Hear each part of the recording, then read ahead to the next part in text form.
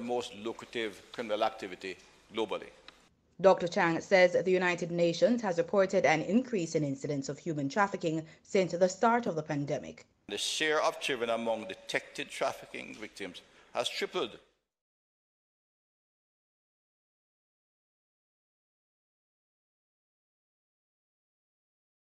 Welcome to PBCJ's coverage of the lower house. I'm Simone Absalom Gale. The session will start with prayers, followed by a roll call of those in attendance. This is usually followed by questions and answers to questions, statements by ministers, items under public business, and private members' motions. Before we begin, though, let's try a parliamentary trivia question. A statement by a minister shall not exceed 12 minutes in duration. Is this true or false? Get the answer at the end of this introduction to the lower house.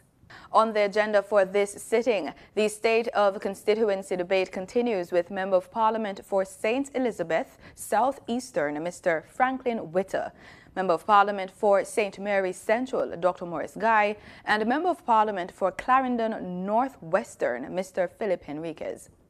The State of the Constituency debate was introduced to give backbenchers, junior ministers and opposition MPs who missed out on the budget and sectoral debates an avenue to speak about their work.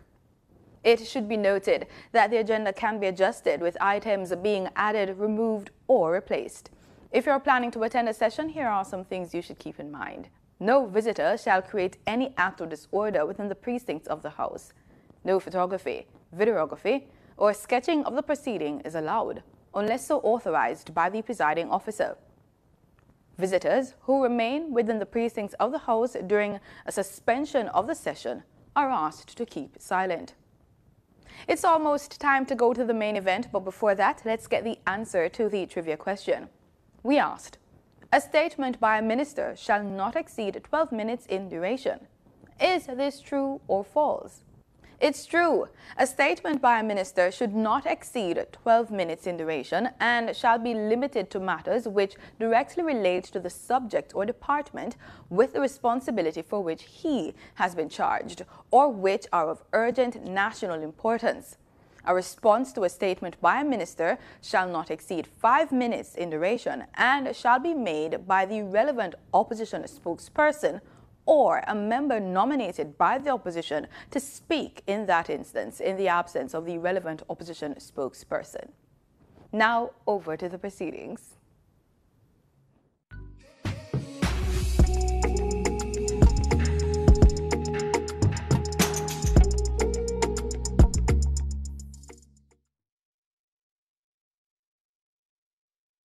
Mr. Chin, Mr. Clark, Mr. Cousins, Miss Crawford, Miss Daly, Miss Davis, Mr. Golding, Mr. Graham, Mr. Green, Dr. Guy, Miss Hamilton, Miss Hanna, Mr. Henriques, Mr. Henry, Mr. Hylton, Mr. Jackson, Mr. Lawrence, Miss Lee, Mr. Miller, Miss Morrison, Mrs. Nita Garvey,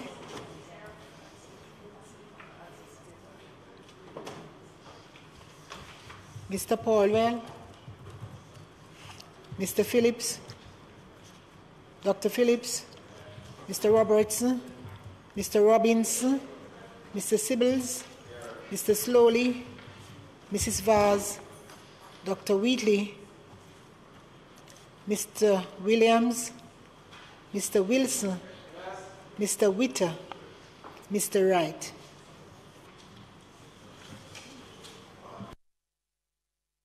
Madam Speaker, just permission to speak from a seat other than my own. Um, as act, I'll be act in the absence of the House Leader and the, act, and the Deputy House Leader. I will be doing duties acting today, Madam Speaker.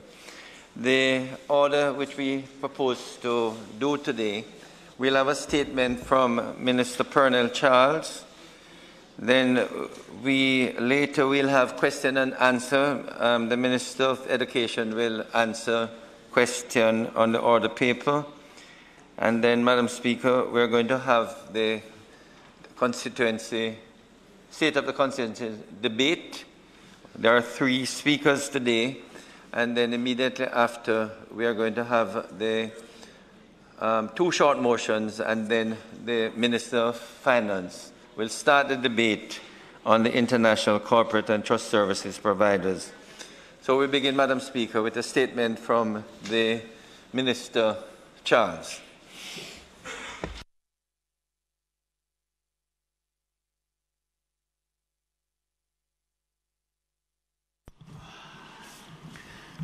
Statement by Ministers. Honorable Pearnel Charles Jr., MP for the Ministry of Housing, Urban Renewal, Environment, and Climate Change. Thank you, Madam Speaker.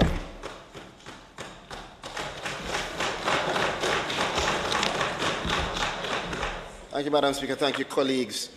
Today, Madam Speaker, my statement relates to the critical matter of the 26th meeting of the Conference of Parties to the United Nations Framework Convention on Climate Change, which is what we call, in short, COP26. COP26, Madam Speaker, is the most critical meeting of leaders across the world of this decade. Madam Speaker, I rise this afternoon uh, to discuss Jamaica's uh, preparation for this meeting and to relate to the country why this is critical to us and what we intend to do. Madam Speaker, COP26 is scheduled to be held in Glasgow, Scotland from October 31 to November 12 of this year and Jamaica's delegation to this important international meeting will be led by the most honorable Prime Minister, and we have a strong contingent, uh, Madam Speaker, including our Minister of Finance and Foreign Affairs and Foreign Trade, and myself, and a full technical team that are currently in Glasgow advancing negotiations on behalf of Jamaica and other small island developing states that we represent. The Prime Minister, Madam Speaker, is invited directly by the United Kingdom's Prime Minister Boris Johnson to participate in a World Leaders Summit, which will be held during the high level segment of COP26 on November 1st to 2nd. During the summit, leaders are expected to deliver statements reflecting concrete actions as well as their individual greenhouse gas emissions reduction commitments. Now, Madam Speaker, I recognize that the discussion on climate change can sometimes be very complex, distant. It's not easy for us to digest it because it sounds very scientific. Climate change, what is that? How does it relate to Jamaica? Sometimes when I'm speaking to youngsters, um, they'll, I'll ask, do you know the difference between climate and weather and what it means? Succinctly put, Madam Speaker, weather is when you get up in the morning, turn on the news, and you hear it's going to rain today. And then tomorrow it might be sunny. Uh, and you, you know the phrase, it changes just like the weather. But climate, the climate of your country, relates to the average weather over a long period of time. So you wouldn't call Jamaica a snowy country or even a rainy country. But when you say climate change, what exactly do you mean? You're talking about a change in what is the usual temperature of a space from being glaciers where you have massive ice to just having water. Places where you would have drought, now having floods. Places where you would usually experience some rain, experiencing category 5 hurricanes. And Madam Speaker, the consequences of this climate change are more disastrous For us, small island developing states, because we are not just small in size and economy, but we are in vulnerable geographic locations. Exactly what makes us the best place to visit for tourism is exactly what makes us the most vulnerable places. The beach and the sun and the sand that we rely on will be gone if action is not taken to protect our environment and our natural habitats. And one of the most critical features of this conference that we are going to, Madam Speaker and colleagues, is around the discussion of constraining, keeping the warming of this planet that we're on way below 2 degrees Celsius. And for us in Jamaica, we are going saying that we want it to stay below 1.5. 1.5 to stay alive. And again, I know when you say you want to keep the temperatures below 2 degrees, what does that mean? It means nothing to some person because it's difficult to digest the science. But let me give an example. Pre industrial times, in the 1800s, there was, there would be up and down, but on average, little carbon dioxide or greenhouse gas emissions emitted. In about the 1950s, when we had the Industrial Revolution, you had a spike. And that spike, in terms of the greenhouse gas emissions, has led to the trapping of heat, which has caused the warming of our globe. The warming of our globe has consequences. With every portion of a degree Celsius, it leads to more frequent and intense hurricanes, floods, droughts, and weather events. In Jamaica, we're not just talking about it, we know that we have seen it and we have experienced it, particularly recently. For us in Jamaica, we then are fighting to keep the temperatures below 1.5. And in order to do so, concrete actions must be taken. So, Madam Speaker, COP26 is another version of the effort for global partners to come together to negotiate how we are going to tackle the climate crisis, how we are going to set up the framework to make sure that as countries individually, we are putting in place the necessary mechanism to limit our own contribution to this problem. But Jamaica is not contributing greatly. We are among the lowest emitters. And so the bigger problem for us is how we are going to adapt to a problem that is way down the wicket, somewhat irreversible. It means that we have to go, and we are going to COP, to discuss climate financing. And at the meeting of the Coalition of Finance Ministers for Climate Action, held in September 2021, it must be noted that the UN Secretary General identified that the turning point, if countries are to limit global temperature rise in line with the Paris Agreement, must be now. And indeed, we have to acknowledge our Prime Minister, who has been selected by the UN Secretary General colleagues as one of the global leaders to ensure that the $100 billion target is met and that small island developing states like Jamaica are supported through climate finance.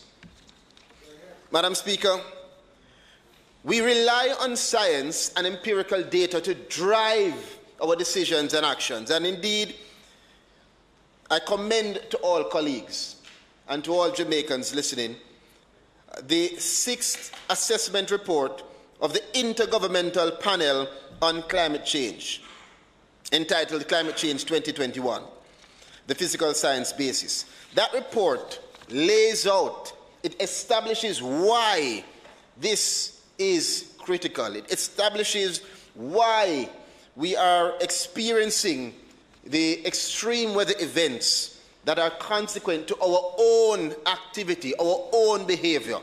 It establishes the linkage between our behavior and what we're seeing in terms of the hurricanes and the floods. It is therefore, Madam Speaker, within our collective power and our responsibility to make the transformational changes necessary to significantly reduce the global concentrations of carbon dioxide and other greenhouse gas emissions within the coming decades.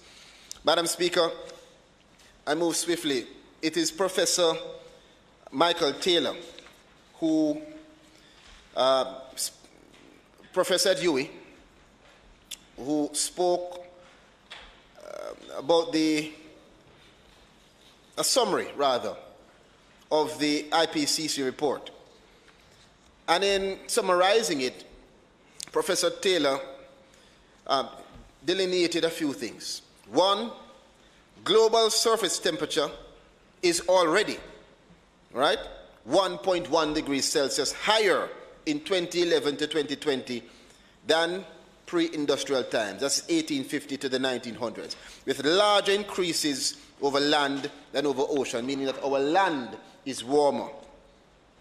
Two, global average temperature is expected to reach or exceed 1.5 degrees Celsius above pre-industrial times in the next 20 years. And I want colleagues to get it in your head that if we reach 1.5 or exceed it, a lot of what we discuss here in terms of agricultural sustainability, a lot of what we discuss here in terms of water sustainability will be no more. We will have to transform our discussions to how we're going to try to survive. Three, limiting human induced global warming to a specific level requires limiting cumulative carbon dioxide emissions, reaching at least net zero carbon dioxide emissions, along with strong reductions in other greenhouse gas emissions. Four, small islands, including the Caribbean, have seen warming that can be attributed to human influence. And as the warming continues, we're going to see more frequent and intense heat extremes and heat stress. It's already hot. I'm sure you feel it. It's going to get worse. Five, Caribbean rainfall for June, July, August has likely declined since the 1950s and will continue to decline. And we know the impact that's going to have on various sectors. And six, global mean sea level increased by 0.2 meters between 1901 and 2018, and increasing rates have been noted since 1971. Madam Speaker, I say this cognizant that, again, it sounds sometimes like gibberish and science, but for the record for Hansard, it must be said. And I, and we are developing national programs, Madam Speaker, around the issue of climate action and building resilience. Just today, I had a meeting with the UNICEF team on how, when we return, we're going to tackle going to the Ministry of Education and Youth and Information to try to get into all of the schools to identify climate champions and to be able to pass this knowledge to our children who are the most vulnerable and who will be greatly impacted because if we move down this pathway, it will only get worse and they will be the ones who will be left to deal with the situation. So, Madam Speaker, it is for us now to define what Jamaica will do. What is our position and what have we done? Madam Speaker, uh, the UK Prime Minister recently spoke at a youth climate summit and he summarized some goals for COP26. He said, he summarized it as coal, cash, cars, and trees. He stressed the need for the global community to transition from the use of coal to generate electricity. He stressed the need for us to realize the annual climate finance goal, which is 100 billion and beyond, to advance electric mobility, as well as planting of trees to act as sinks for greenhouse gas emissions. And in Jamaica, we are well aware of our programs to advance tree planting and protection of trees and mangroves. We are well aware of the efforts from the Ministry of Energy as well as the Ministry of relating to climate change uh, to define the policies around the transition to electric vehicles and towards uh, the 50% renewable energy in our sector. So there are several things that we are doing and will continue to do as a country. Madam Speaker, in addition to that, it is critical for us to lay out the critical features of this meeting. We are going there to boldly call for more financing, but not just for the money, Madam Speaker, because we, we know that the commitments were made at the last COP and not achieved. So, what we want to do is to examine why they were not achieved and examine also the financing that was provided. Did it achieve its goal?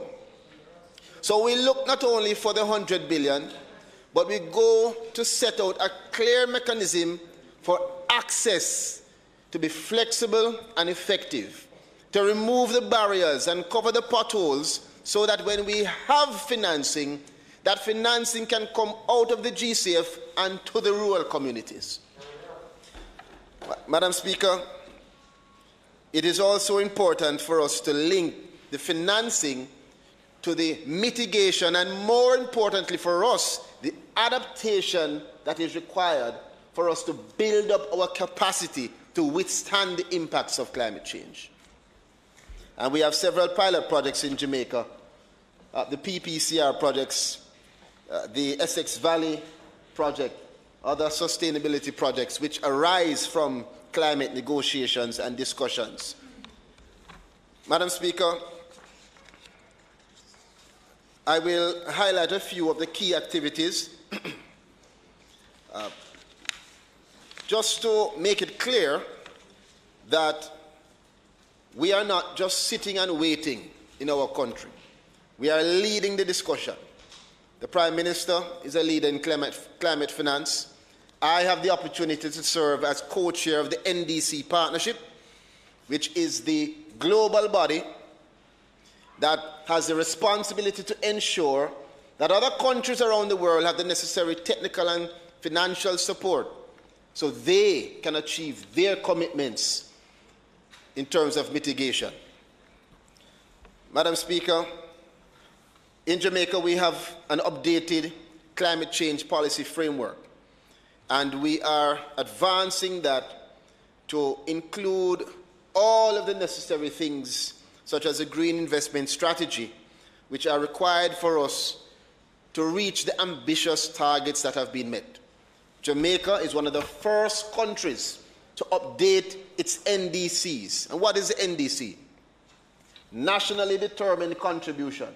Our own local commitments to the fight against climate change. And we updated that during the pandemic. And we were able to submit in June 2020 and proudly can say, Madam Speaker, that within the last two weeks, we launched our NDC implementation plan, something that we are going to COP to be able to say we're not just calling for support, but even though we are one of the lowest emitters, we are still ensuring that we show our responsibility as partners to the Paris Agreement by having one of the highest and most ambitious targets and ensuring that we put in place a framework for those targets to be achieved. And I want to use the opportunity, Madam Speaker, to thank the Climate Change Division of the Ministry of Housing, Urban Renewal, Environment and Climate Change, and all of those focal points in other ministries, departments and agencies that have given support. Um, Ms. Una Mae Gordon and her technical team, uh, who have for years been working assiduously um, on these programs.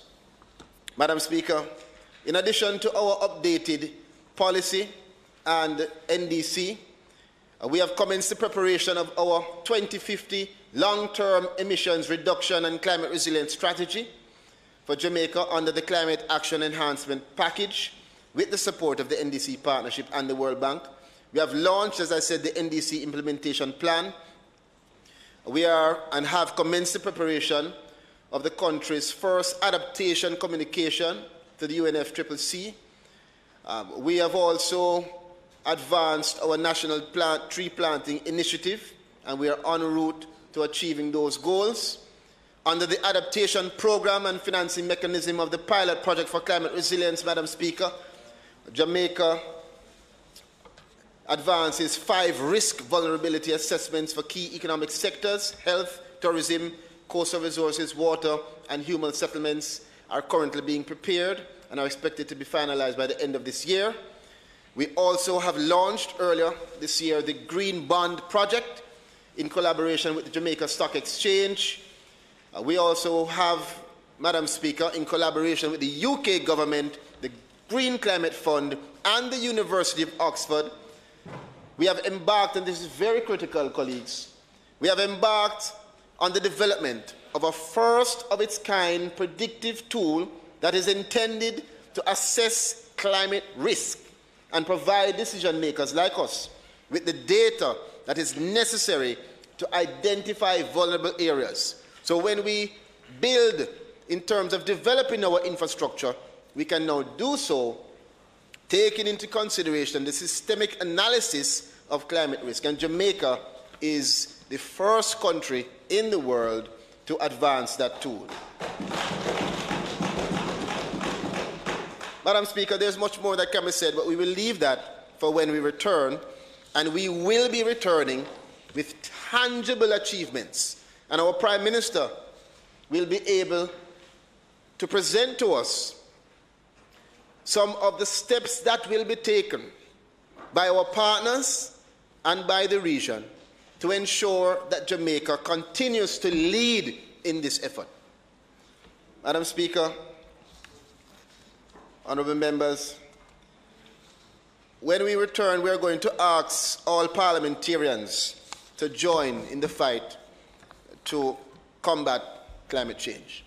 It is my intention to advance the program that will see all constituencies through their parliamentarians having an opportunity to become more aware of the issues and to be able to identify in your constituencies climate champions who can be given the resources and the knowledge to spread the narrative and to inform the persons in their communities of the steps they can take to mitigate and to adapt against this existential threat.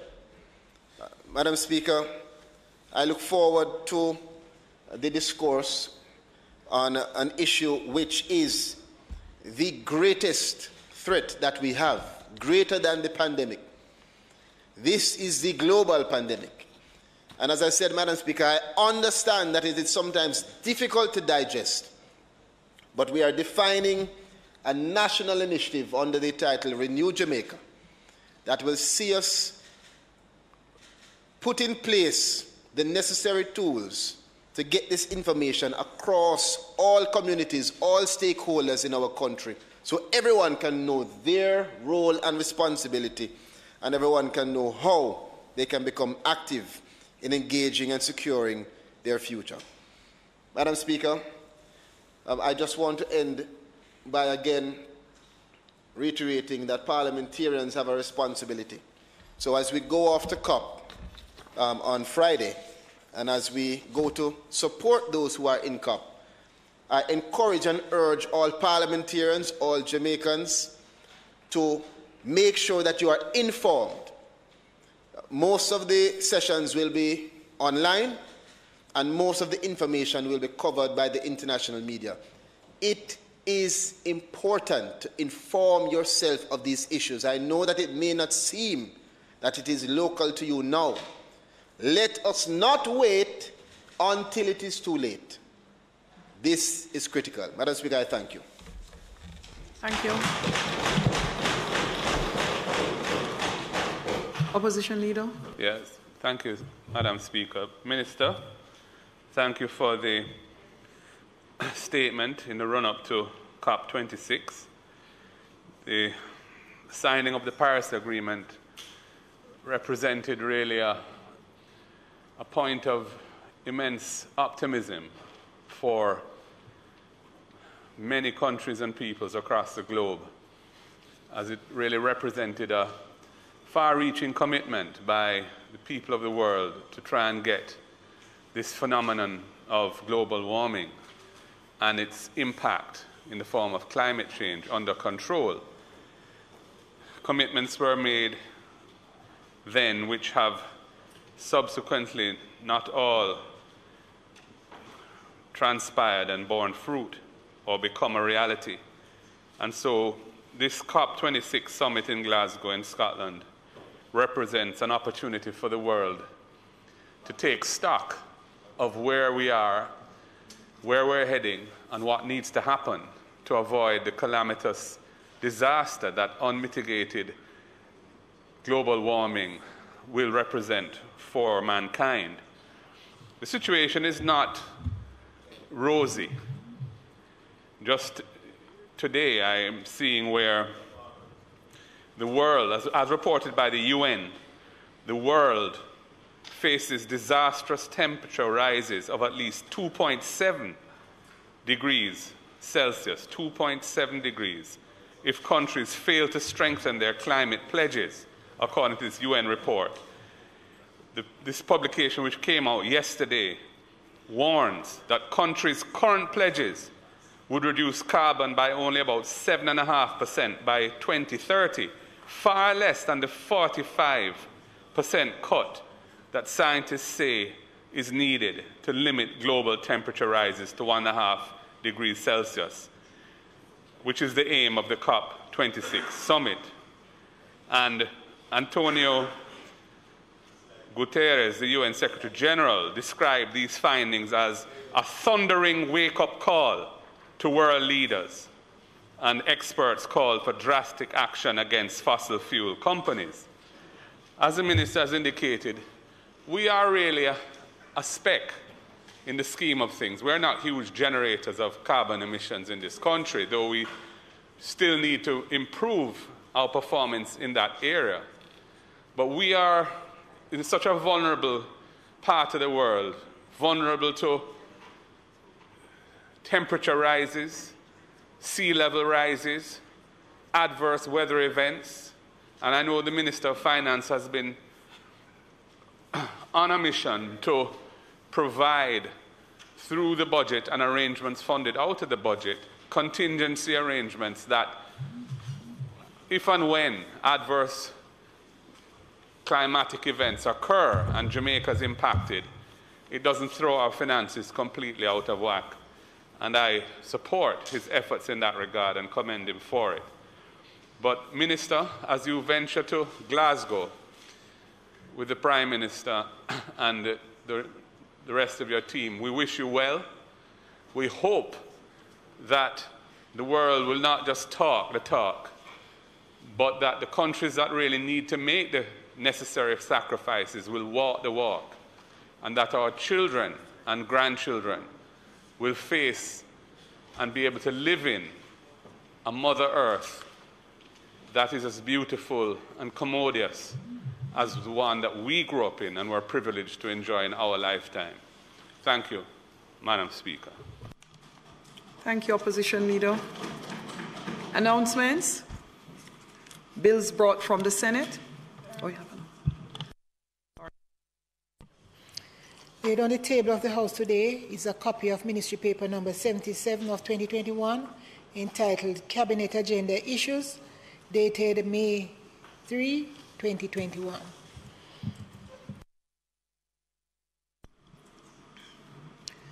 Bills brought from the Senate, petitions, papers, reports from committees,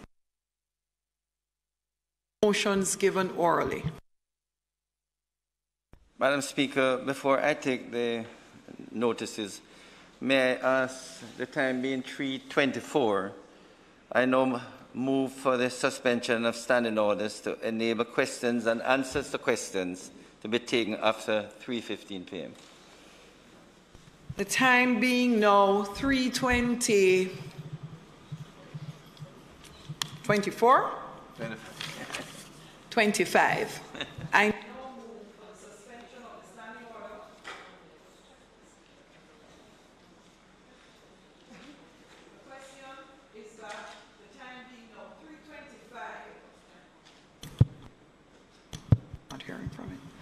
The question is that it now being 3:25, the standing orders be suspended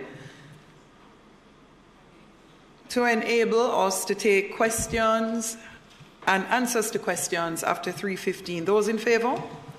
Aye. Those opposed? The ayes have it.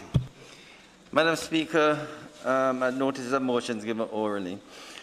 I beg to give notice that at the next meeting of the House, I will move, be it resolved with reference to the resolution approved by this Honourable House on the 11th day of March 2021, appointing a special select committee to consider and report on private bills, that Mrs. Juliet Holness, Deputy Speaker, be named chairperson of the committee. Madam Speaker, I further beg to give notice that at a later stage today, I will move for the suspension of the standing orders to enable me to take the motion.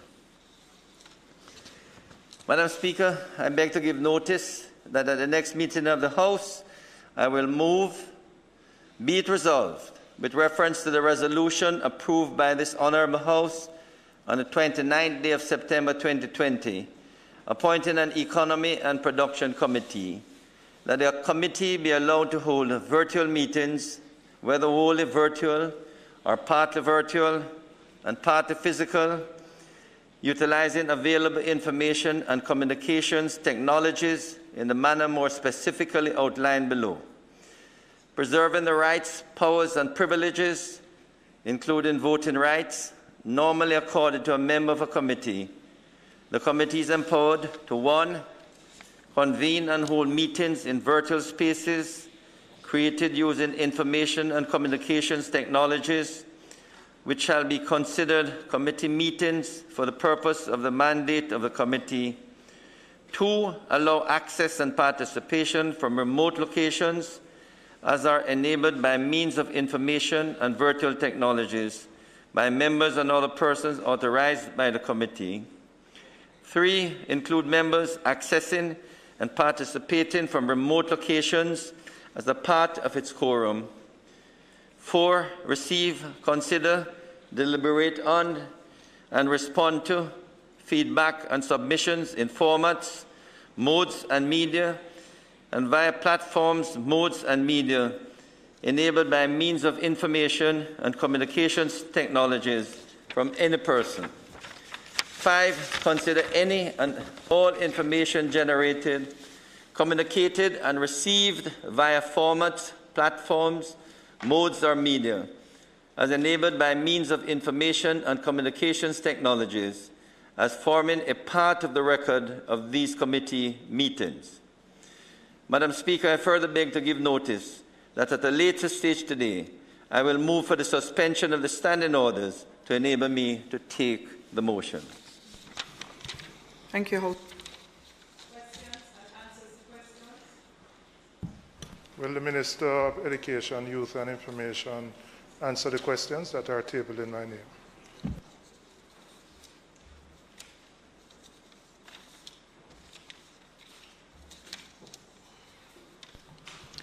Member Robinson, do you need a copy or do you have? You circulated them? You have enough copies?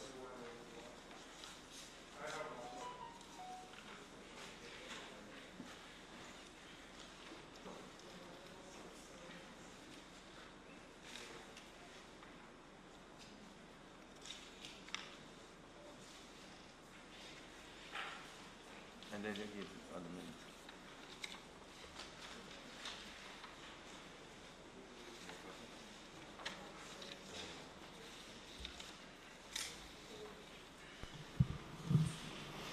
The podium for Minister Williams, please. Minister Williams, Minister of Education, Youth and Information.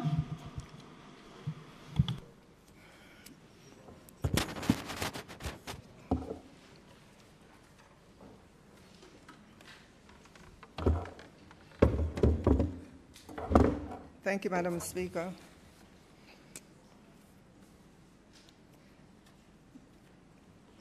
Question one. Can the minister confirm if the Board of Jamaica College made a recommendation to the Ministry of Education in 2019 about the future of its principal? Answer Yes, I can confirm that Jamaica College's Board of Governors made recommendations to the Ministry of Education, Youth and Information in 2019 subsequent to receiving application for leave from the principal. Question two, if the answer to part one is in the affirmative, will the minister please state what the recommendation was? The recommendations of Jamaica College's Board of Governors were as follows. A, special leave with full salary for the period March 8, 2019 to March 24, 2019 B, earned vacation leave with full salary for the period March 25, 2019 to November 20, 2019. And C, special leave with full salary for the period November 21, 2019 to November 20, 2021. Please note that the recommendations were made on sep- separate occasions. Question three Can the minister indicate the ministry's response to the recommendation from the Board of Jamaica College? Answer. In 2019, the Ministry approved the recommendation of the Board of Jamaica College for special leave with full salary for the period November 21, 2019 to November 20, 2021. Question four. Can the Minister confirm if the salaries and emoluments of the principal and acting principal of Jamaica College are paid by the ministry? And if so, please state what these are. Answer.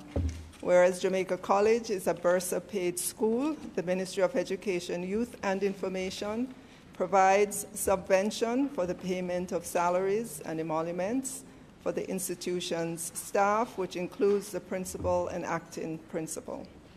The member is advised that the table shown in, in this question and answer gives a breakdown of the salary and emoluments that pertain to the principal and the acting principal, respectively.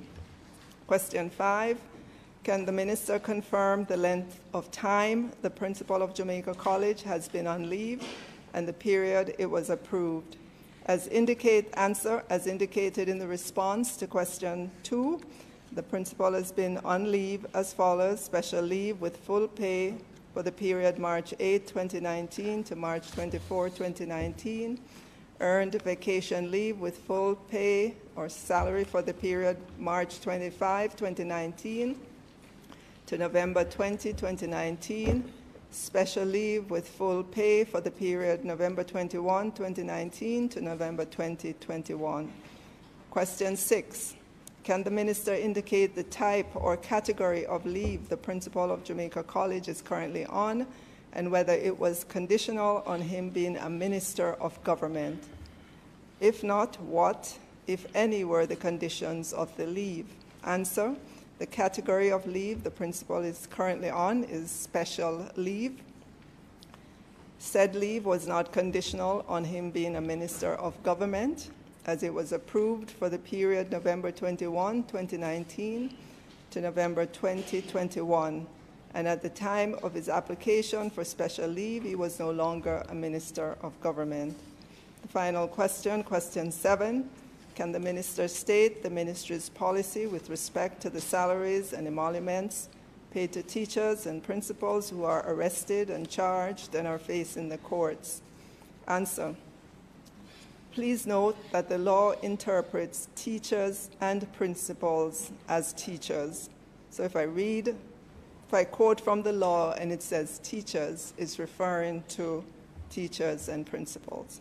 So, the ministry's policy regarding salaries and emoluments paid to teachers is derived from the Education Act 1965 and regulations of 1980. Under Regulation 60, subsection 1 and subsection 2 of the Education Regulations 1980, which pertains to the suspension of a teacher from duties, provision is made as follows. A teacher of a public educational institution against whom the board intends to take disciplinary action may be suspended from duties by the board of the institution until the matter is determined. Where a teacher is suspended from duty under the paragraph I just read, the minister may, on the recommendation of the board of the institution, withhold such portion of his salary not exceeding one fourth as he may determine, and if it is decided at the inquiry that the charges in respect of which he was suspended were not proved, then he shall be entitled to be paid the portion of his salary so withheld. Thank you, Madam Speaker. Minister, two questions. Can you confirm whether the principal of JC has applied for an extension of the special leave, which expires on November 20th, 2021? And secondly, could you indicate the date in 2019 um, at which the principal applied for special leave?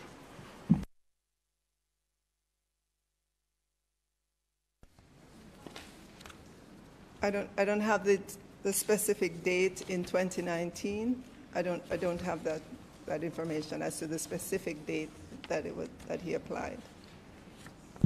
Could, well, was the application for special leave at a time when he was still a minister of government or no longer minister of government?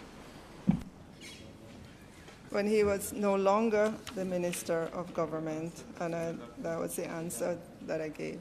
He was no longer the minister of government. And the other, I'm sorry, can you? My question was Has the principal of JC applied for an extension of the special leave, which expires on November 20th, 2021?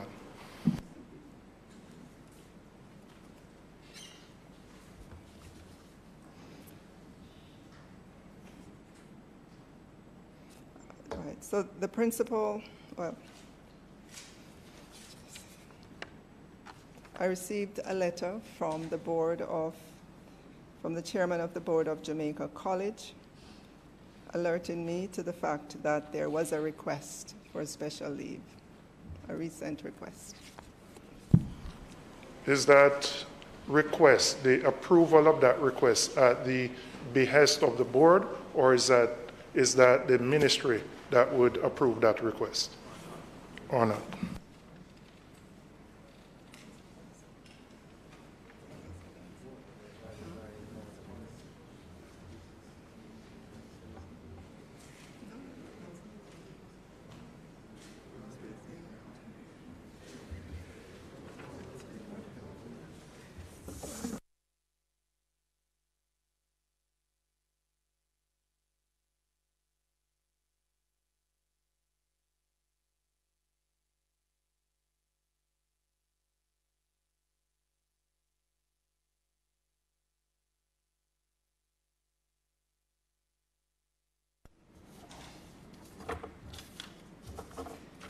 The request for special leave from a principal should be to the board, and the board would make a recommendation to the minister. So has the board made a recommendation to the minister with respect to this request, which has come from the minister? From the principal, sorry. The board of Jamaica College has not made a recommendation as yet. So, in essence, the situation is in limbo. He, has made a request for an extension to the board of JC. The board has sent that information to you without indicating whether they support it or not.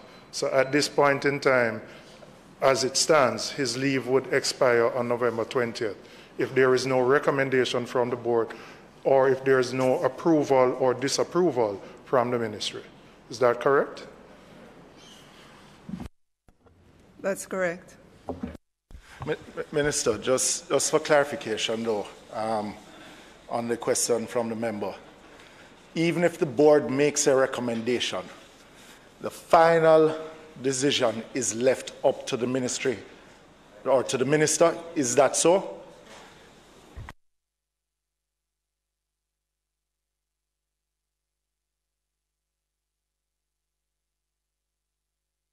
It's really. huh?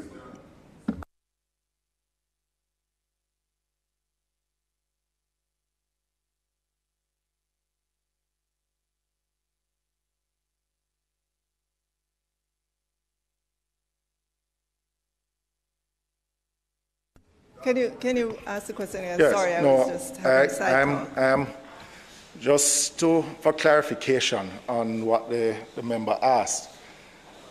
Even if the board makes a recommendation or seeing that the, the, the, a, a letter came from or a request came through the board to the ministry, even if the board makes a recommendation, isn't the final decision on that matter is left up to the minister or the ministry, whichever one you want to put, for the ministry to make that final recommendation to the board.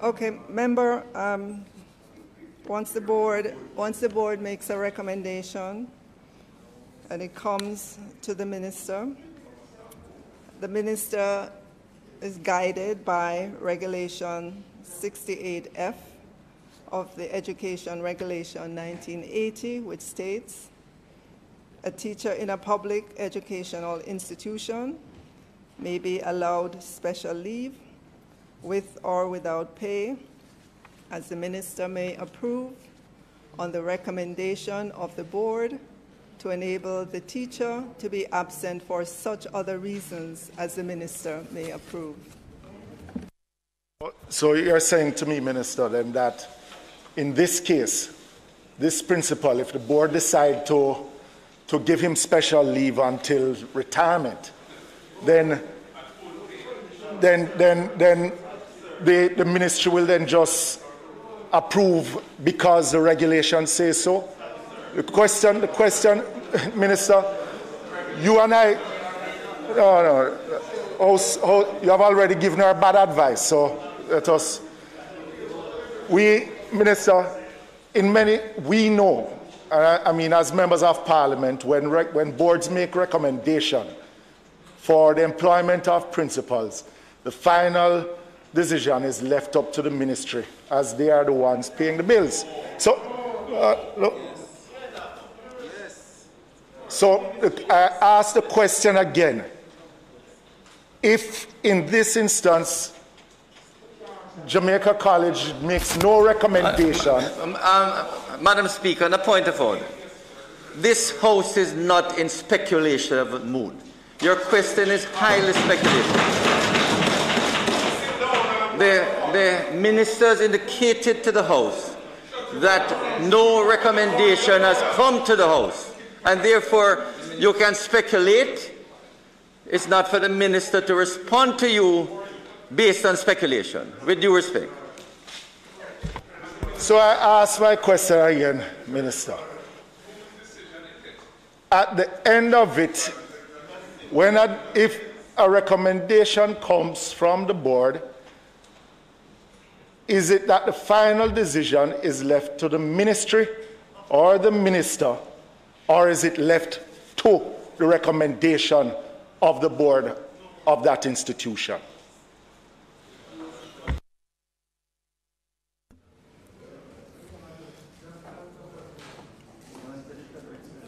Member,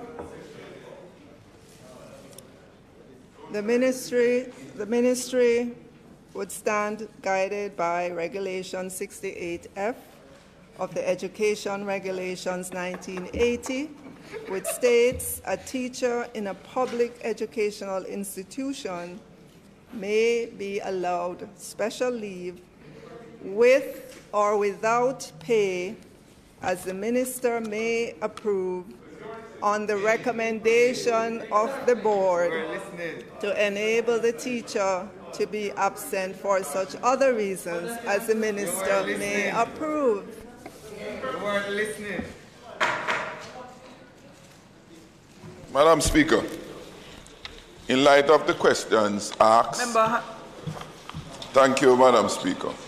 In light of the questions asked and the answers given so far, Madam Speaker, the antecedents in this matter is well known, not only in this House, but outside too, where you have a principal that's been on leave from, 20, from 2019, and you have an acting, you have an acting principal who is substantially, totally executing the functions of the principal of the institution. You have indicated that there's leave approved up to November 2021. In light of the antecedents and in light of the fact that the pertinent section of the law or the regulation permits the minister to ultimately may or may not, may or may not act. In light of the antecedents in this matter, if an application is made beyond November 25th, will it No, Madam Madam Speaker, Speaker. let me allow to complete my question. No, no, no. order, order in the Wait, let me complete my question. With respect, Madam Speaker, House the Leader, members House are Leader. asking a highly speculative question. House Leader, It is a point of order. You must ask a question. you Members, must, you members, must could you please all take- Madam Speaker, could you if all take your seat? If, Madam Speaker. Madam Speaker, if, the- if, if there's Member no Hylton, request, please do not speak. no Take your seat. recommendation from House Leader, the board, House Leader, please take your seat. This House is going to be conducted in order. Do not speak, Member Hylton. I, I Do was- I not was speak, up- Member Hylton. Do I not speak. Please take your seat. speaking. Please take your seat. I wasn't even on my feet. You were on your feet and mic on. Please do not speak. Take your seat, member. Is this a dictatorship? Um, what is house, it? house, house rules are such that we speak and listen to each other. House leader, if you have a point of order, that is supposed to be your first statement. You cannot speak. It, you have not had the opportunity to hear what his point of order is. House leader, do you have a point of order? I have a point of order, Madam Speaker. The point of order is the question is misleading because the misleading the question is highly speculative and therefore misleading. Ma- ma- ma- Madam Speaker, Madam Speaker, Ma- Madam Speaker, the, the, it's Hold, hold, obvious. hold a minute, one minute, Member Hylton.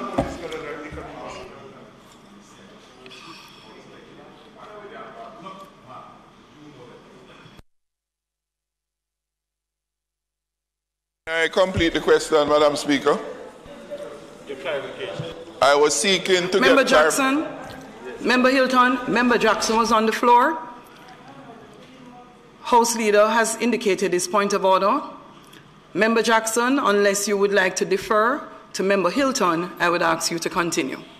I'd like to respond to the point of order. I'd like to respond to the point of order raised by the by the by the by the. Member, Member Jackson, unless you would like to yield to Member Hylton, I'm asking you to continue. I will yield so long as I can be allowed to complete my question. Member Hylton. I was making the obvious point that the question was not yet asked, and so for the for the member to for the acting speaker to be inserting a point of order when the member is in the midst of his question, I think it's highly inappropriate.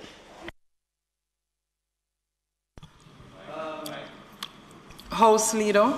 Madam Speaker, in response, when questions are asked and how they're answered is governed by 17. And it is quite clear that it makes it very clear 16. that 16 and uh, the contents and uh, the response. It is quite clear, Madam Speaker, that the member is asking a question which was previously asked and answered. Question was asked. What? Ma- Madam Speaker, I read, I, read this. 16.1f. A question shall not contain arguments, inferences, opinions, imputations, epithets, ironical expressions, or hypothetical cases.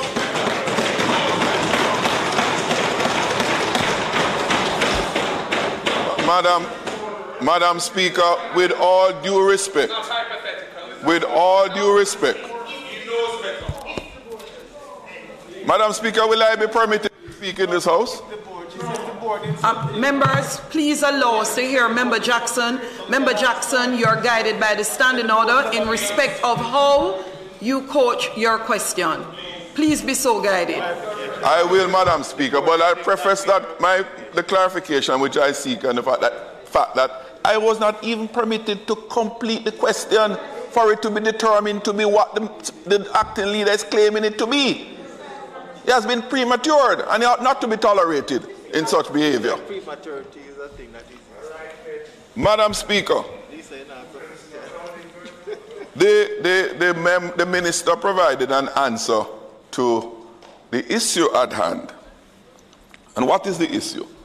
The issue is we have some a principal who has been on leave for an extended period of time with full pay, full benefits, while at the same time an acting principal is in that position performing the full duties of principal, enjoying the full benefits of salaries, etc.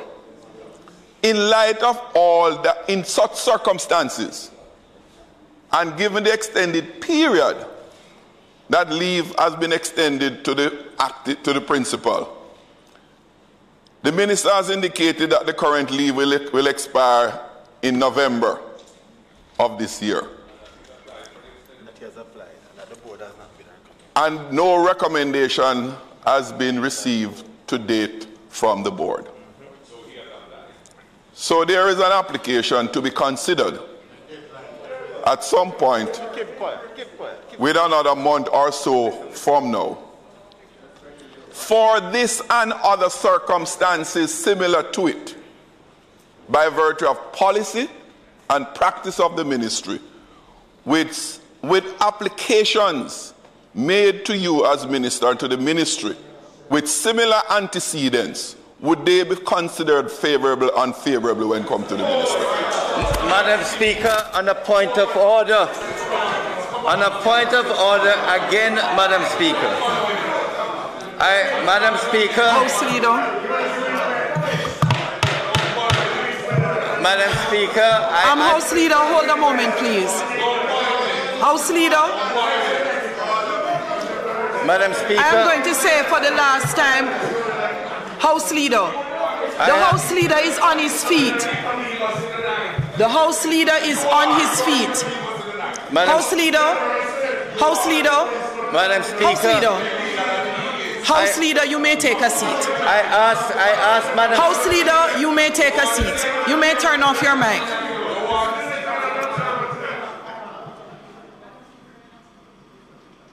Members of the House, this is absolutely atrocious behavior. I could hear the comments made by some individuals.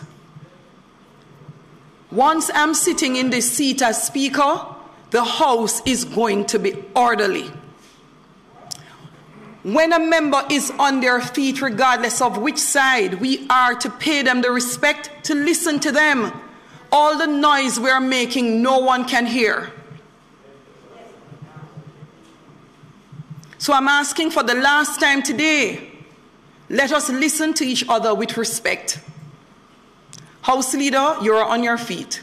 Madam Speaker, I urge that you allow the Minister not to answer the question posed because under section 16H of the standing orders of this House, a question shall not solicit the expression of an opinion or the solution of an abstract legal question or of an hypothetical proposition.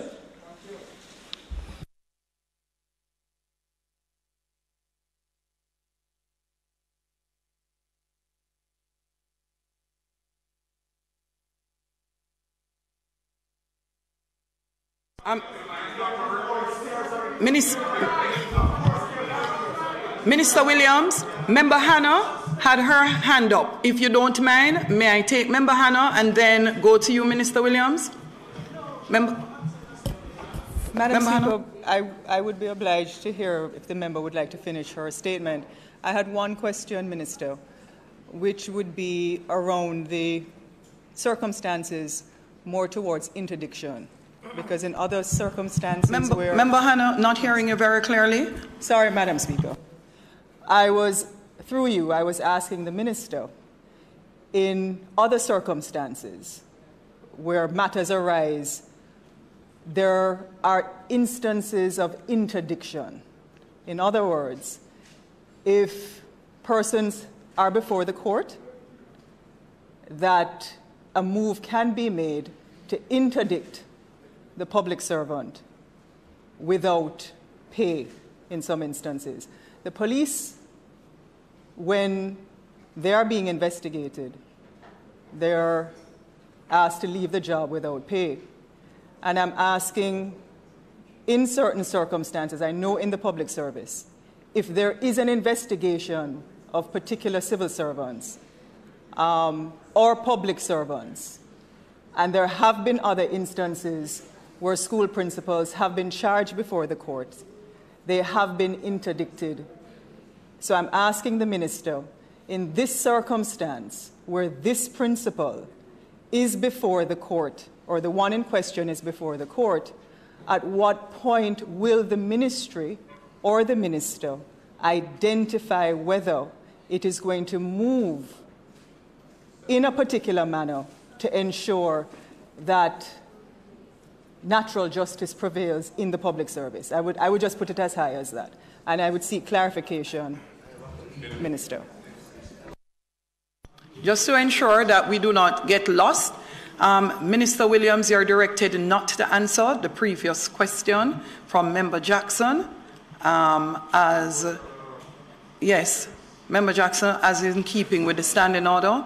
Minister Williams, will you take the Speaker, will you Speaker, take the of order. question from Member Hanna? No, Madam Speaker, on a point of order. In respect to your Go ahead, comments, Member Jackson. the, the advice from the leader of the House, as I understood it, is that the, the, the, the minister may or may not. The minister is being advised from the speaker not to respond to the question asked. So, so, Mem- so, so, Madam, mem- no, no, Madam Speaker, I'm seeking your clarification. In keeping with the standing order, yes, the Yes, I'm ruling seeking- is I'm seeking your clarification, Madam Speaker. Is it that you are saying that you are directing the minister to abide by the House leader's advice not, not, to abide by the, House leader, to abide by the standing order. No, Madam Speaker, the standing order said may or may not. You are directing her not to. Mini- may or may not. Shall not.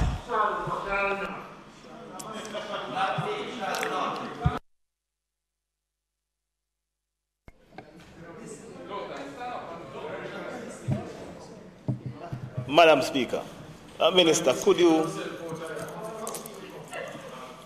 a clarification? Hold on a moment. Um, member, um, before you go ahead, Minister Williams, we will take Member Cousins. Thank you. Um, Minister, is there s- time stipulation for teachers going on special leave? Because it, what it sounds to me like is a situation where teachers can go on special leave in perpetuity. So is there a time stipulation for that? Because if there's no time stipulation for that, it would seem rather absurd to have teachers just apply and go and leave until their retirement. So please, could you clarify if there's a time stipulated for teachers to go on special leave?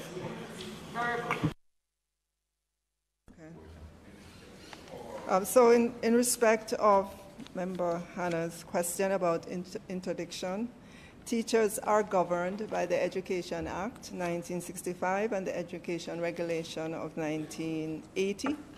And in that act and in those regulations, there's not the concept of interdiction. Um, as it relates to. Minister, I'm just having a little bit of a difficulty hearing. I didn't hear the, the year that you said the act. Okay, I said teachers are governed by the Education Act 1965 and the Education Regulation 1980. And in the Act and in the regulations, there's not the concept of interdiction as you would find in the public service. And with regards to the question, the other question as to the time is there a time stipulated for special leave? Um, let me read again from the regulation.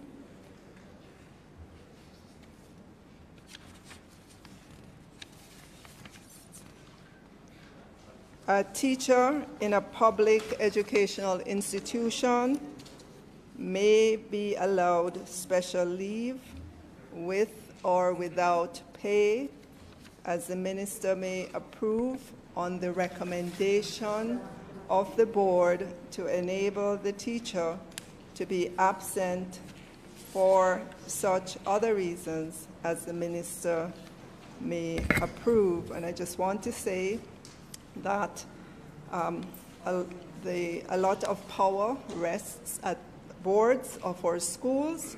Boards are vested with the power to appoint, terminate appointments, promote, suspend from duty, and other personal matters in relation to members of staff of the institution as per Regulation 89, as per the regulations of 1980. So I hope that answers your question. Madam Speaker. Question to the Minister is uh, just for clarification. In the past, has there been occasions when the board would have uh, made a recommendation that the ministry would not have gone with? Just asking in terms of what the practice has been. That's one. And the second would be from what you have uh, said on November, 20, 20 uh, November 21, 2021, which is when the special leave would be up. You have in your possession the request for additional leave, what that was sent to you by the board. I think it is fair to assume that the board has done what has sent to you what they are going to send to you. What is going to guide the decision that is to be made, who is to make it, and what is going to decide. The, um, yeah. Yeah.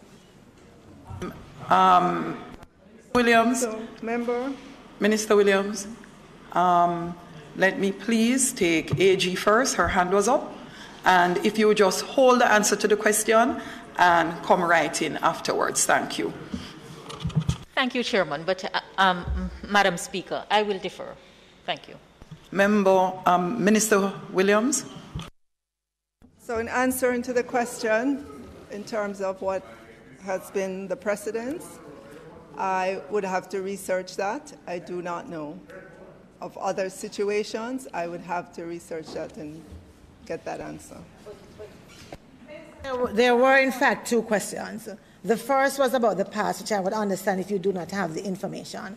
The second is that the board has sent to you the communication around the request from Mr. Reid on November 21st, 2021, when that leave would have expired. What will guide your action? Well, no, I'm asking what will guide your action, and I'm putting it like that. I think we all know that the country would like to know what is going to happen. But since that might be ruled out of order, and we are not interested in answering the questions of the public, I'm asking one that should have you answer. Um, um, Minister Williams, if you're going to read the section that guides your answer for the fourth time, I would appreciate if you just refer to the section and and yes, and continue. I would direct So, um, that you just member, refer to the section. Member, I would have written to the board to remind them that they are vested with the power to appoint, terminate appointments, promote, suspend from duty, and other personnel matters in relation to members of staff of the institution as per the regulation. A matter of clarification, Madam Speaker, around the, the response that was given. Minister, I was not sure I heard you. Minister, I was not sure that I heard you clearly, whether it is that you have already written to the board to indicate that or you will. And I ask for that clarification because since it's already in your possession and since we have a couple of days to go to the 21st, if indeed it is going to be done, one is hoping that it would have been done to allow it to be done within the time frame. Is it that you are going to do it or is it that you have sent that letter? Um, Minister Williams, could you just hold your response and I'll allow Member Daly to just continue and then you respond at once. Thank you very much. Um, I'm now, I'm now seeing your hand, Member Guy. Madam you will be next.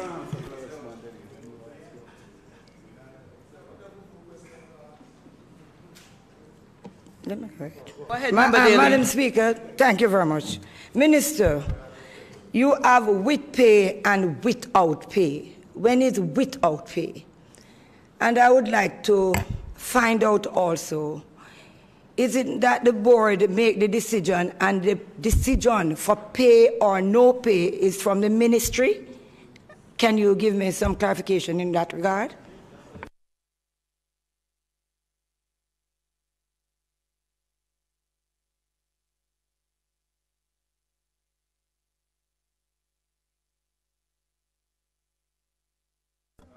So members, I appreciate, I appreciate all the questions. But since the Board of Jamaica College has not a, made a recommendation, I am really not in a position to answer the question at this time. I've answered as best as I can in terms of um, the act, the regulation. I've said what I've done in terms of reminding the board that they are vested with the power to appoint, terminate appointments, to promote, to suspend from duty, and other personnel matters in relation to members of staff. I've, and so I await their any correspondence or any further explanation that they want to give.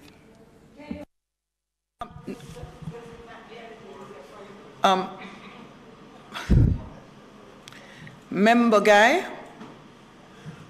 Thank you very much, Madam Speaker. Minister, I am looking at your answer to question seven, and you have utilized the education regulation number 60 to, um, to justify the answer.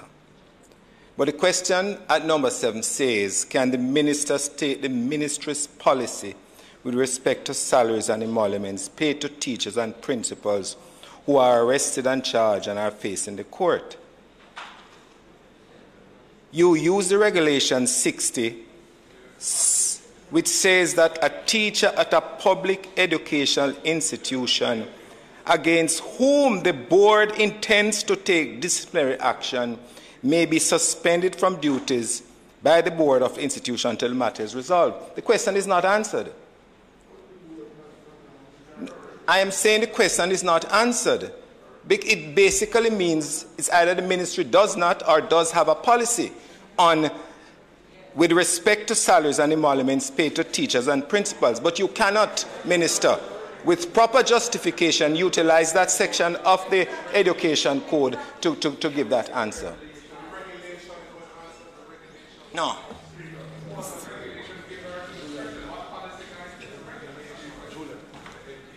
So, member, again, the ministry is guided by the Education Act and the education regulations, and I've read various parts of that that would, would guide us.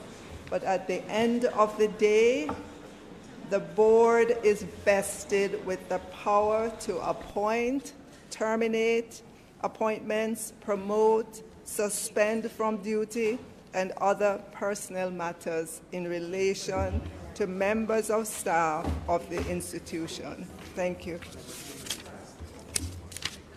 Minister, so if the board, and I do have the content of the letter from the board, if the board indicates to you that they have no interest in extending the leave and wish to terminate the principal, the ministry is going to accept that recommendation, and that's the end of the matter.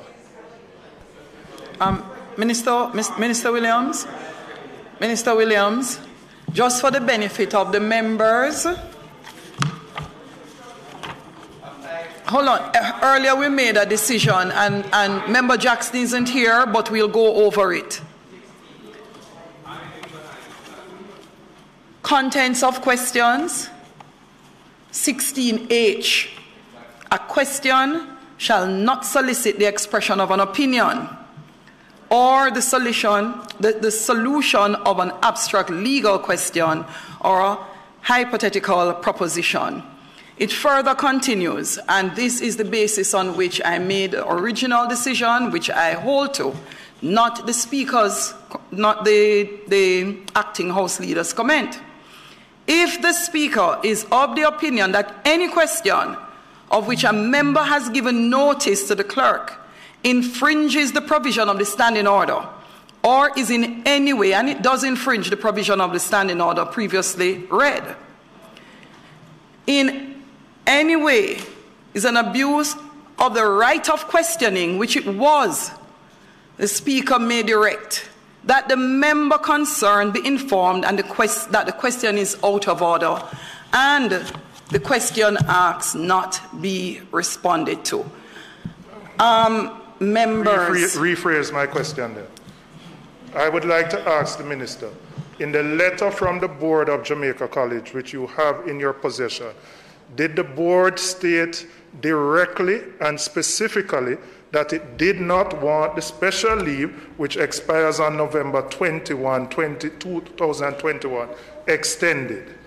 That's a specific question.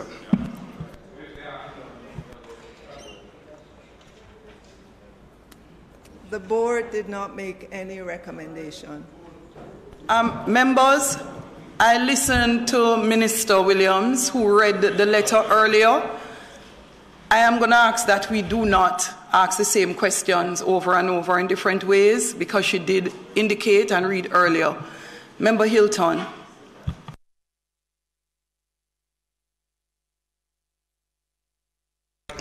Something is wrong Does with it matter, Minister, that what is at stake here is neither a suspension or a, firing or hiring, but a request for an ex- a further extension?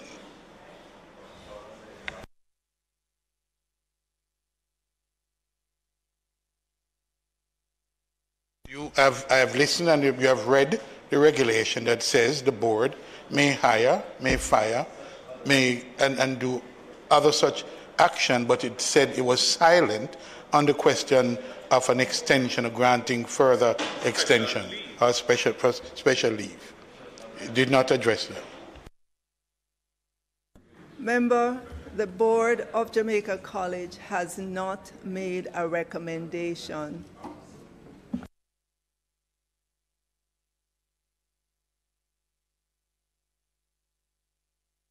All right.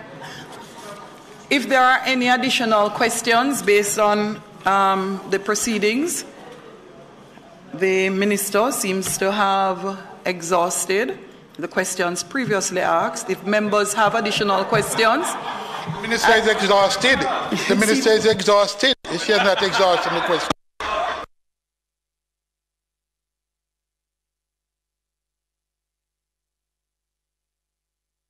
Minister Williams, just to confirm, do you have anything else you wish to say to the House? Members, uh, no, Madam Speaker. So Minister Williams is um, complete in terms of her response to the questions raised. Members, motions that may be made at the commencement of public business requiring notice.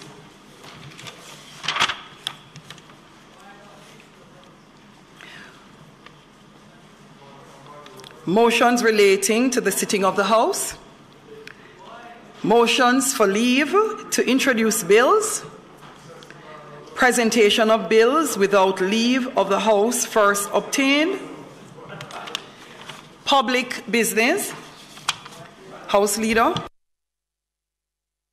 Today, we are going to start in public business. We are going to start with the constituency, um, state of the constituency debate.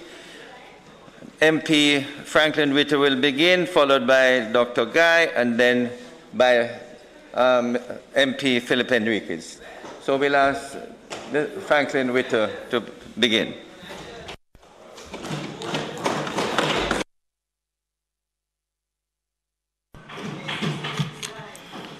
Members, we welcome MP Frank Witter to the floor, St. Elizabeth Southeastern.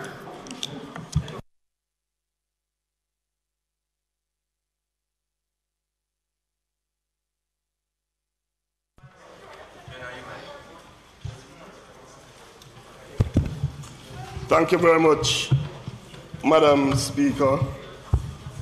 Thank you very much, colleagues.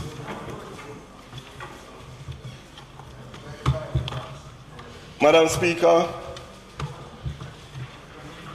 today I am very humbled um, to stand in this. Um, MP Frank Witter, are you at your designated seat? Yes, yes, yes. I am. Yeah, sure.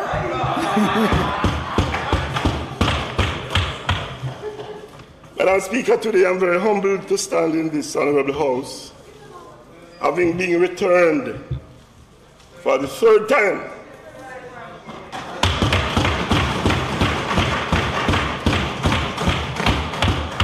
Representing the people of St. Elizabeth Southeastern.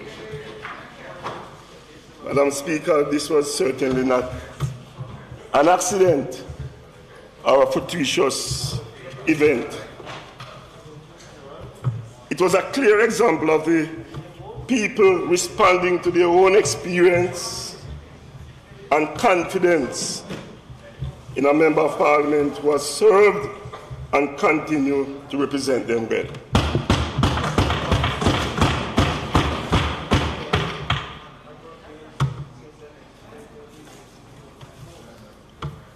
Madam Speaker, my margin of victory is a clear indication of what I just said earlier. Having moved the margin from 205, a majority of 205 in 2016, to a majority of just under 3,000 votes in 2020.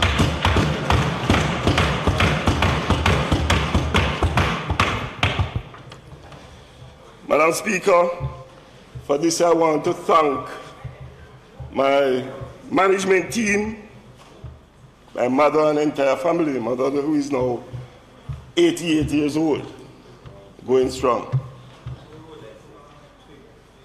My constituency committee,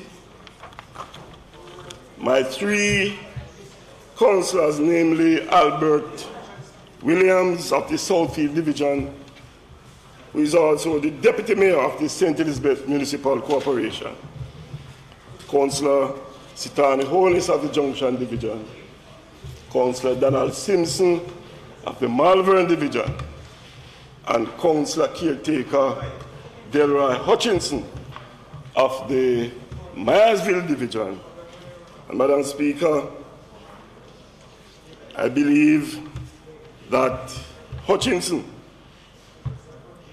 will make up the team at the St. Elizabeth Municipal Corporation whenever the next local government elections are called.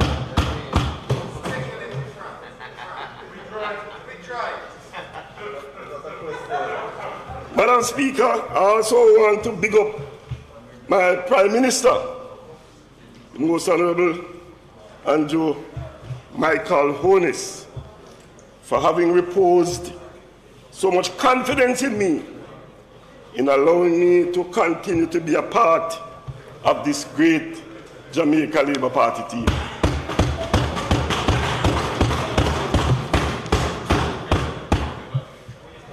Madam Speaker, after having sat and listened to the present presentations by the newly elected members of this Honorable House, I, I realize, Madam Speaker, that Prime Minister, the Most Honorable Andrew Michael Holness, was very meticulous and deliberate in his candidate selection as he sought to ensure that this parliament is not a rubber stamp of the executive, but rather to fulfill its mandate as the main oversight body of the government.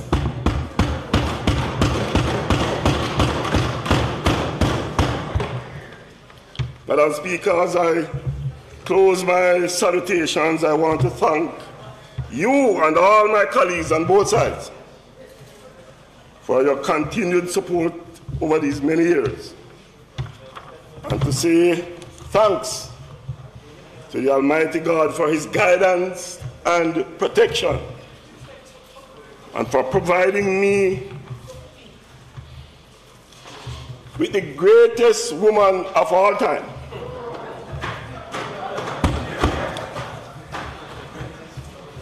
None other than my wife, Normalin.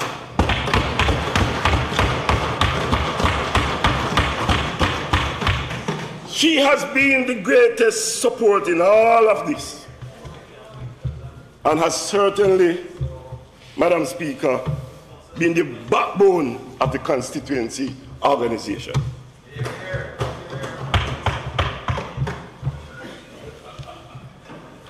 Madam Speaker, I just also want to highlight that today is a special day in our lives. Yes, as I stand to make this presentation on the 27th day of October 2021, this marks my 37th year of marriage with this beautiful woman. Today,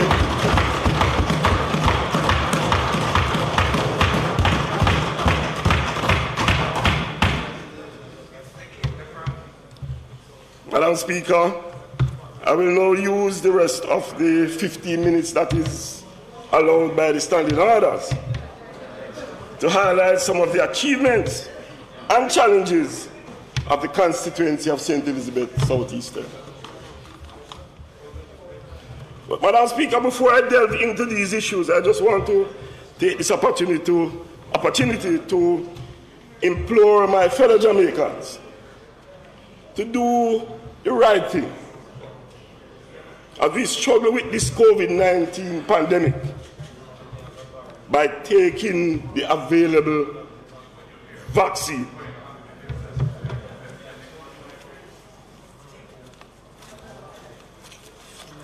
As I have done, Madam Speaker,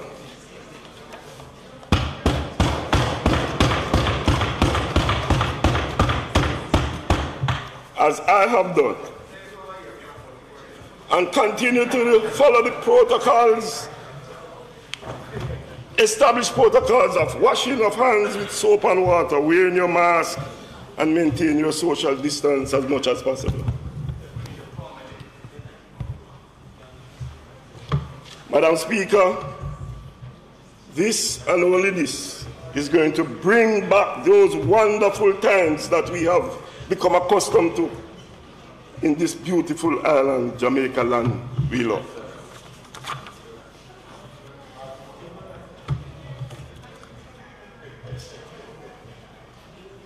You know, Madam Speaker, as I reflect on the vaccination exercise, I listened about two weeks ago to the my colleagues on that side, my friends, um, coming out of a news conference where it was mentioned that the Prime Minister, in his vaccination exercise, was seeking to gain some political mileage. Yes, I heard it.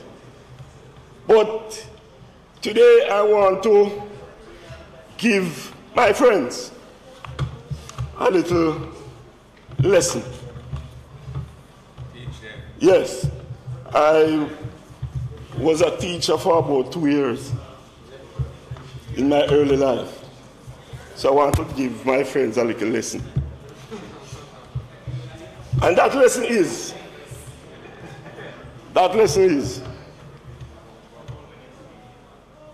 do not despise the efforts of the Prime Minister. As he go out into the field and try to encourage people to get vaccinated. My advice to you is to join him.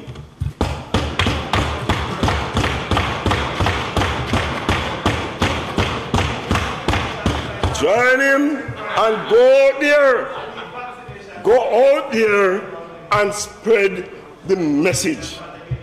I believe, I believe, I believe that if you do so, I believe that if you do so, you will be able to gain some well needed political points that have been eluding you in recent times.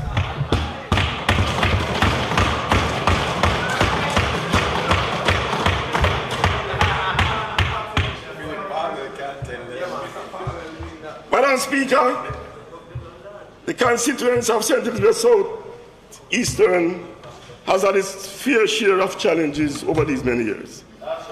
Madam Speaker, the greatest of them all was the lack of running or piped water. But as an MP who, Madam Speaker, who was born, grown, still continue to live in my constituency, I've had the experience of having to wake up every morning facing these adverse conditions. But, Madam Speaker, I can say that I'm proud to be the MP who has made successful representation to the then Minister of Water, the member from Central, from Northwestern St. James, Honorable Dr. Horace Chang. This has resulted in a constituency which had only 10% coverage of NWC water supply, being now able to boast an increase of about 55% of communities accessing the precious commodity.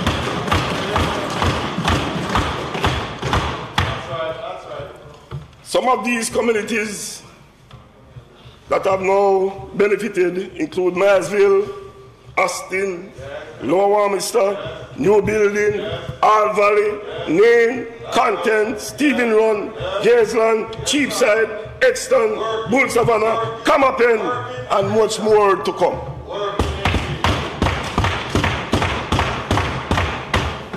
Madam Speaker, I also want to commend my Minister of Local Government for his positive response to my request by providing social water to a number of communities. This was, this was made possible through a very well thought out water shop installation program in four communities across the constituency. This has provided water for approximately 4,000 residents around these communities. Madam Speaker, I will now move to the to agriculture. Madam Speaker, the Central Elizabeth has been for many years regarded as the breadbasket of Jamaica. And rightly so, Madam Speaker. Our farmers have been the most resilient set of entrepreneurs in Jamaica. They have produced the best in the worst of conditions.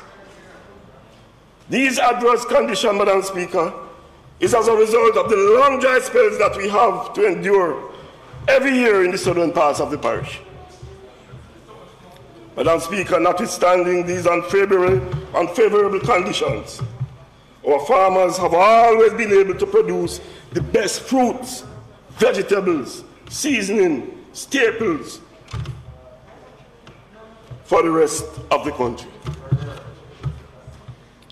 In light of these prevailing conditions, Madam Speaker, this government, under the leadership of the Honorable Andrew Michael Holness, have sought and actually obtained over $4 billion to provide irrigation to hundreds of farmers in the constituency.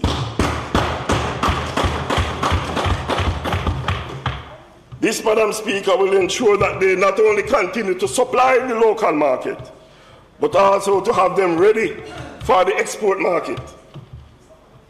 And also the expected increase in demand from the impending improvement in our tourism industry, which has been orchestrated by the great work that is now being done by the Minister of Tourism and his team. Madam Speaker, I will touch a little on the bauxite industry and in particular JISCO Alpart. Madam Speaker, the reopening of the plant in 2016 created a lot of hope for the people of St. Elizabeth Southeastern and by extension the entire Jamaica. But Madam Speaker, the reopening was short-lived and hence we have seen a dramatic downturn in some economic activities in the constituency.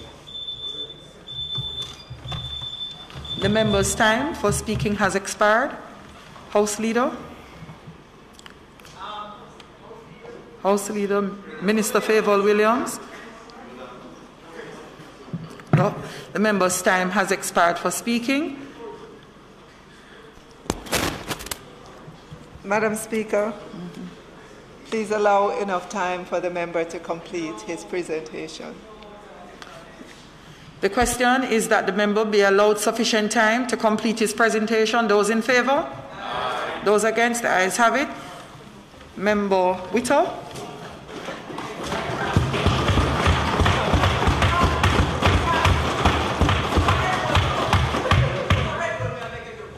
Thank you very much, Madam Speaker. And I want to thank my colleagues also.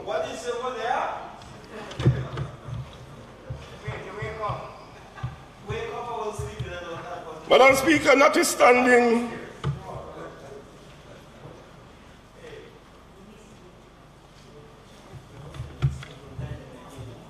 Madam Speaker, notwithstanding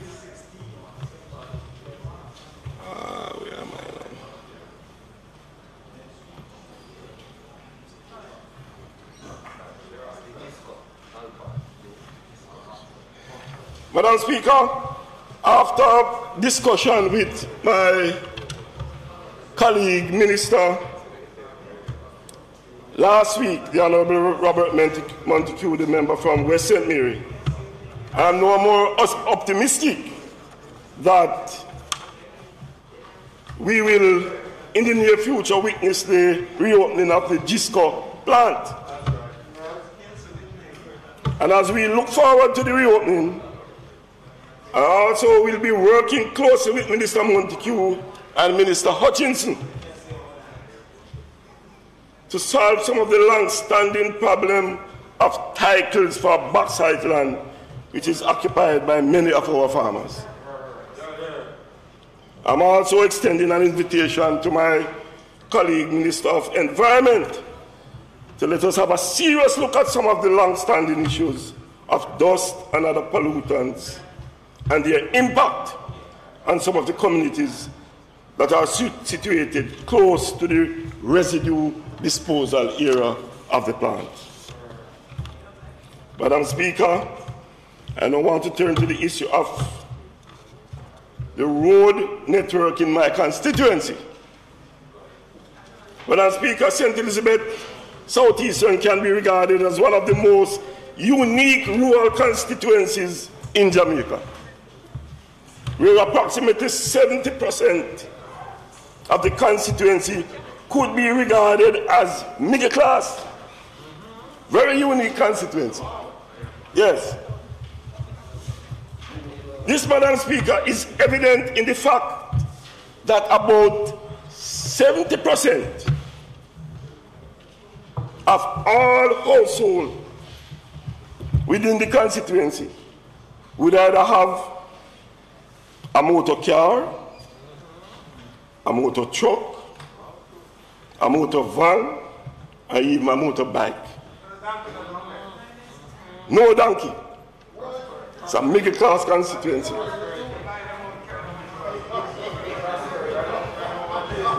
That is what, that is what prosperity is all about.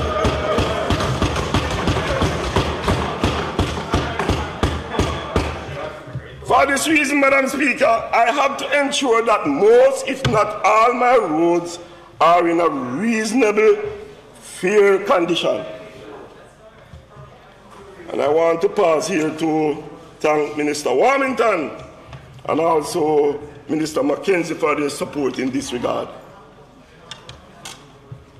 But, Madam Speaker, I want also to add that ever since the CDF was introduced for MPs, every single year I ensure that I set aside 50% of my CDF allocation for road repairs. This adds up to approximately $100 million during my tenure as Member of Parliament. Every single year, 50% is set aside for infrastructure work.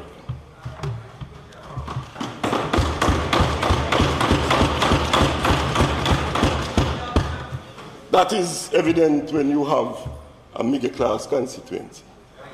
Yes, people need infrastructure, roads, Yes, people don't need handout. Yes. Southeast St. Elizabeth, very unique. Very, very unique.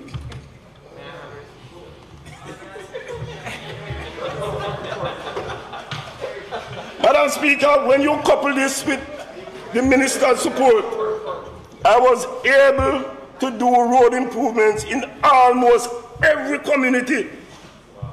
Yes, almost every community.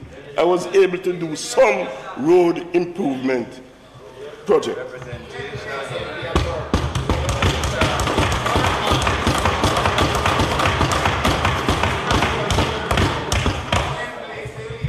These include, these communities include Kamapen, Lititz, Content, Junction, Taphill, Grotto, Queensberry, Bull Savannah, Dunderhill, Myersville, Mount Pleasant, Smoothland, Rose Hall, Neath Mountain, Epping Forest, Carby, Plummertown, Hermitage, Ivory, Chapman, Nemartown, Charlie Pool, and many more.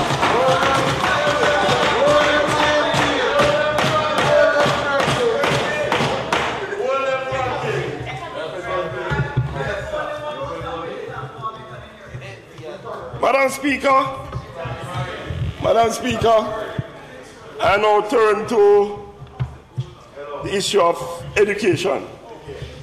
Madam Speaker, I do believe that education and training is the key to the success of any nation.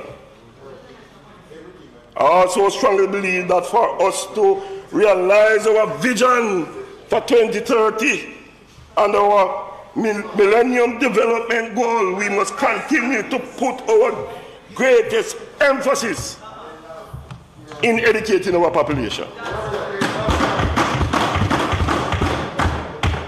And for this reason, Madam Speaker, I want to use this opportunity to remind us of the greatest investment in education in the history of this country.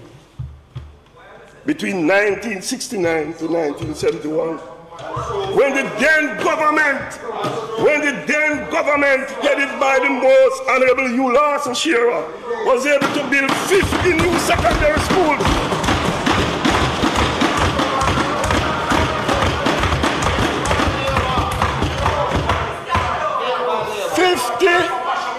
Fifty, 50 new secondary school all at once right across the entire Jamaica. And Madam Speaker, Madam Speaker, Madam Speaker, my main reason, my main reason for highlighting this, Madam Speaker, my main reason for highlighting this is because I am a proud product of that investment.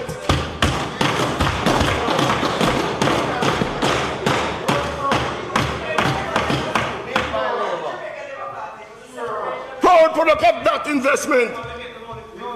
Having been nominated the most outstanding student in the entire island in 1976 of those who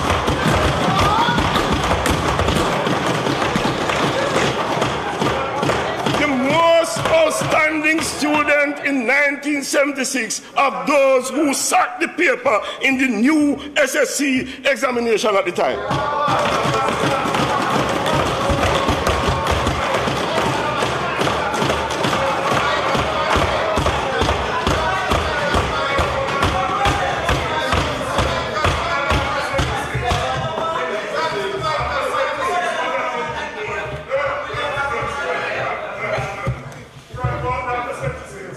Archives of the Star and you will see it there. the Star newspaper that many of you might not know.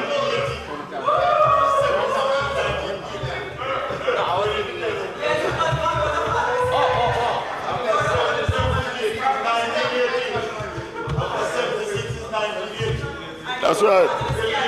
Deliverance came in 1980. Madam Speaker, Madam Speaker,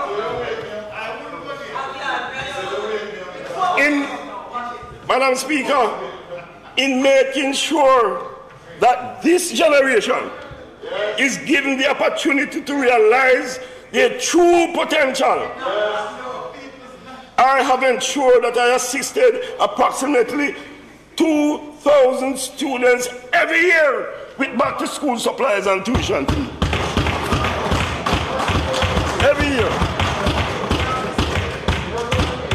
Madam Speaker, I also assisted a number of schools. I also assisted a number of schools with the provision of computers, laptop, tablets, and repairs to your physical plant. Madam Speaker, as the COVID 19 pandemic continues to impact negatively on our education, educational programs. I am also pleased to acknowledge the intervention of the Ministry of Science, Energy and Technology in providing broadband access to a number of communities in an effort to improve the delivery of education to our children. Madam Speaker, Madam Speaker, as I close, as I close, I want to join my colleague from St. Elizabeth Northeast in asking my Minister of Finance to look at the possibility of instituting a tax collection center in Junction, the fastest growing town in Jamaica.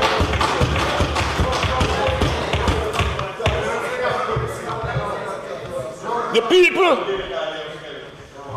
the people, the people in my constituency are saying to you, Minister, they are saying, we want to be able to pay our tax on time because we believe that this government, this government deserves, this government deserves to collect and execute the spending of every tax dollar that is available. As we believe it is our only hope. This government is our only hope in providing the leadership that is required to build back stronger and create the prosperity that is now on the horizon.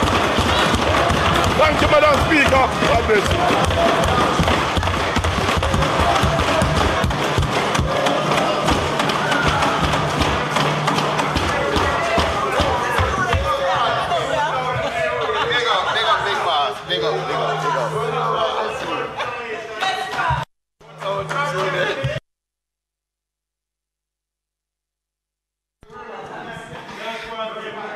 Good presentation, Member Witter. We, we will now continue. We call them, call them authority. Madam Speaker, our next speaker for the constituency debate is Dr. Morais Guy, Member of Parliament, St. Mary's Central.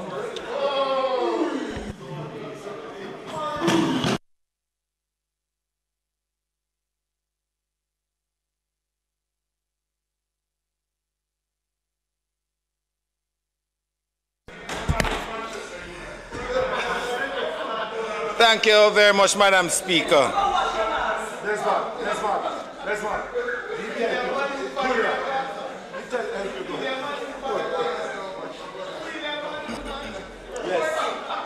Madam Speaker, I rise today to make my contribution to the state of the constituency debate. As the five-term member of parliament for the constituency of Central St. Mary.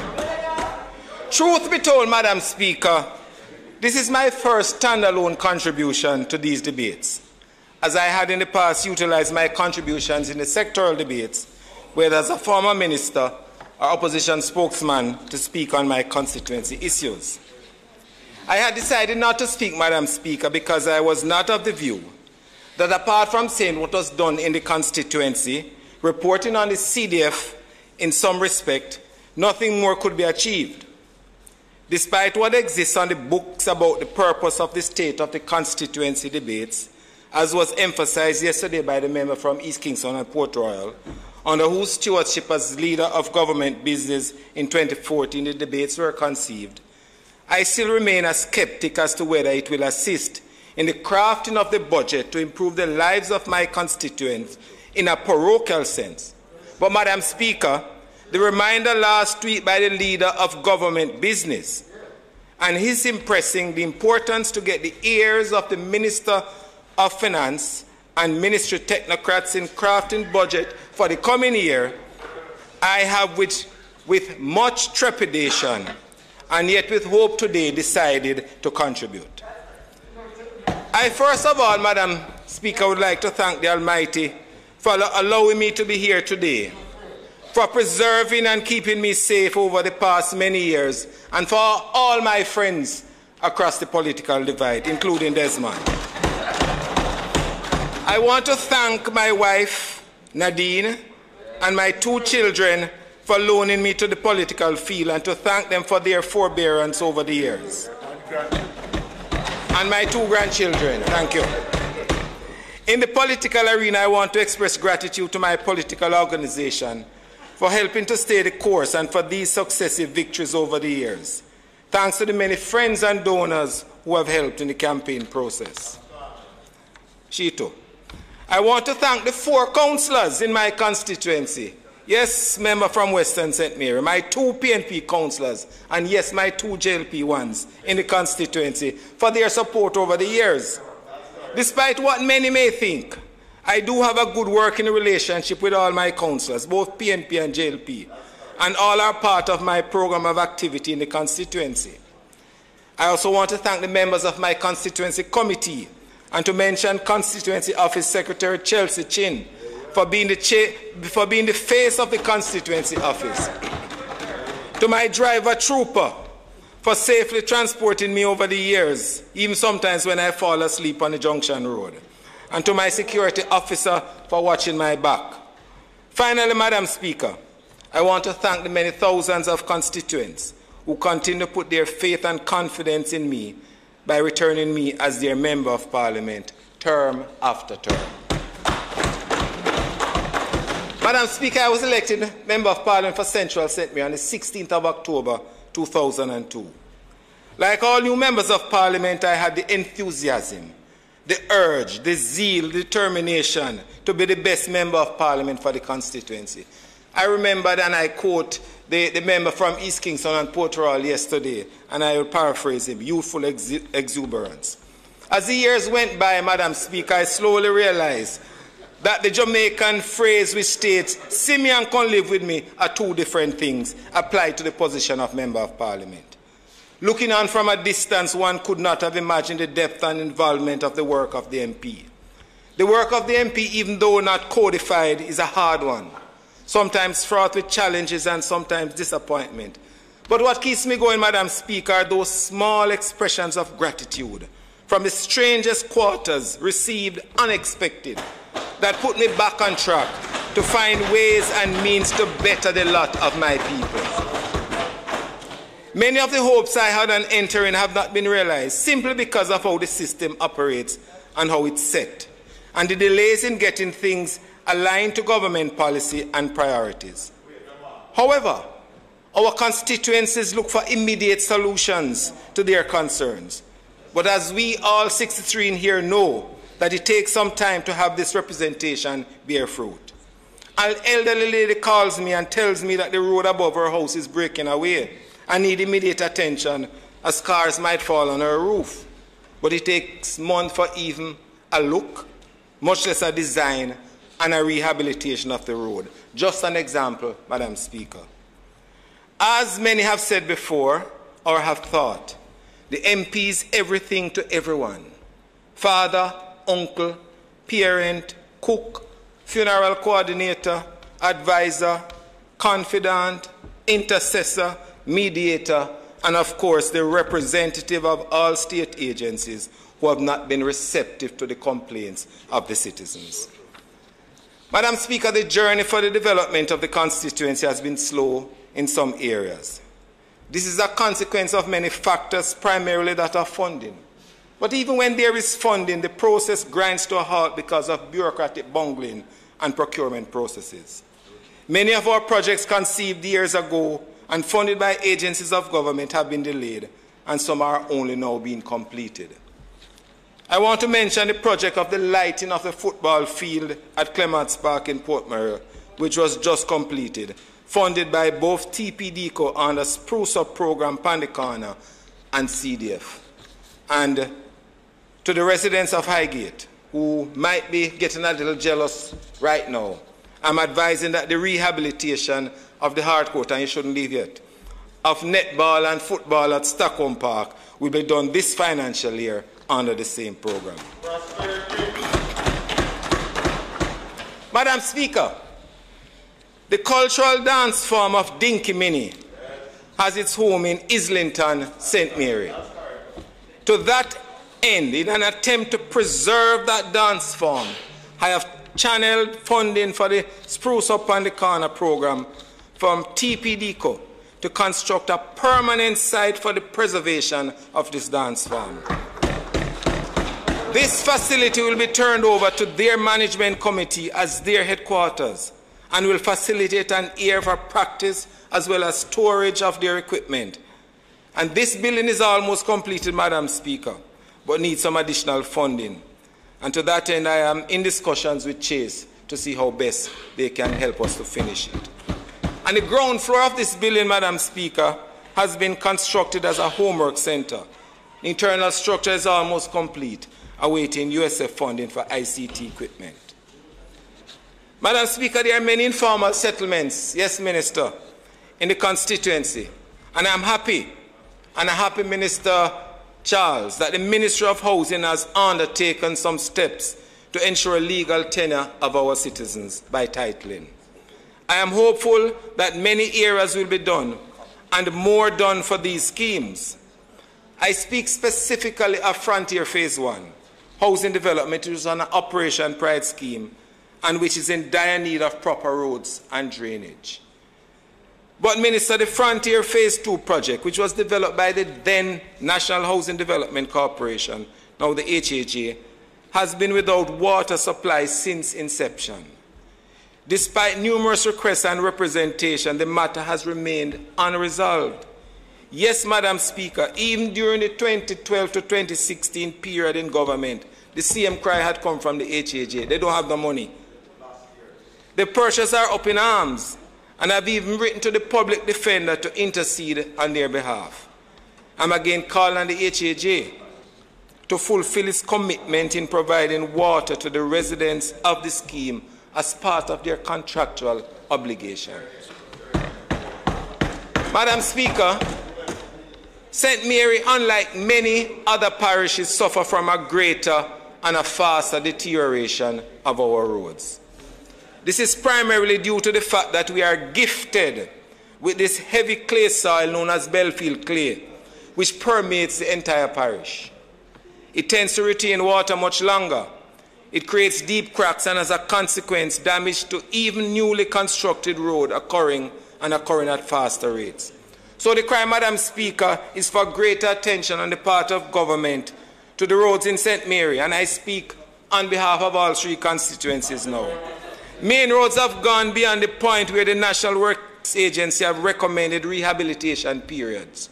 I'm advised that 14, after 14 to 15 years, most roads would need to be rehabilitated. But we have many roads that have exceeded 20 years. Rosen to Islington, Highgate to Palmetto Grove, and Windsor Castle, and Guys Hill. Islington to Port Maria.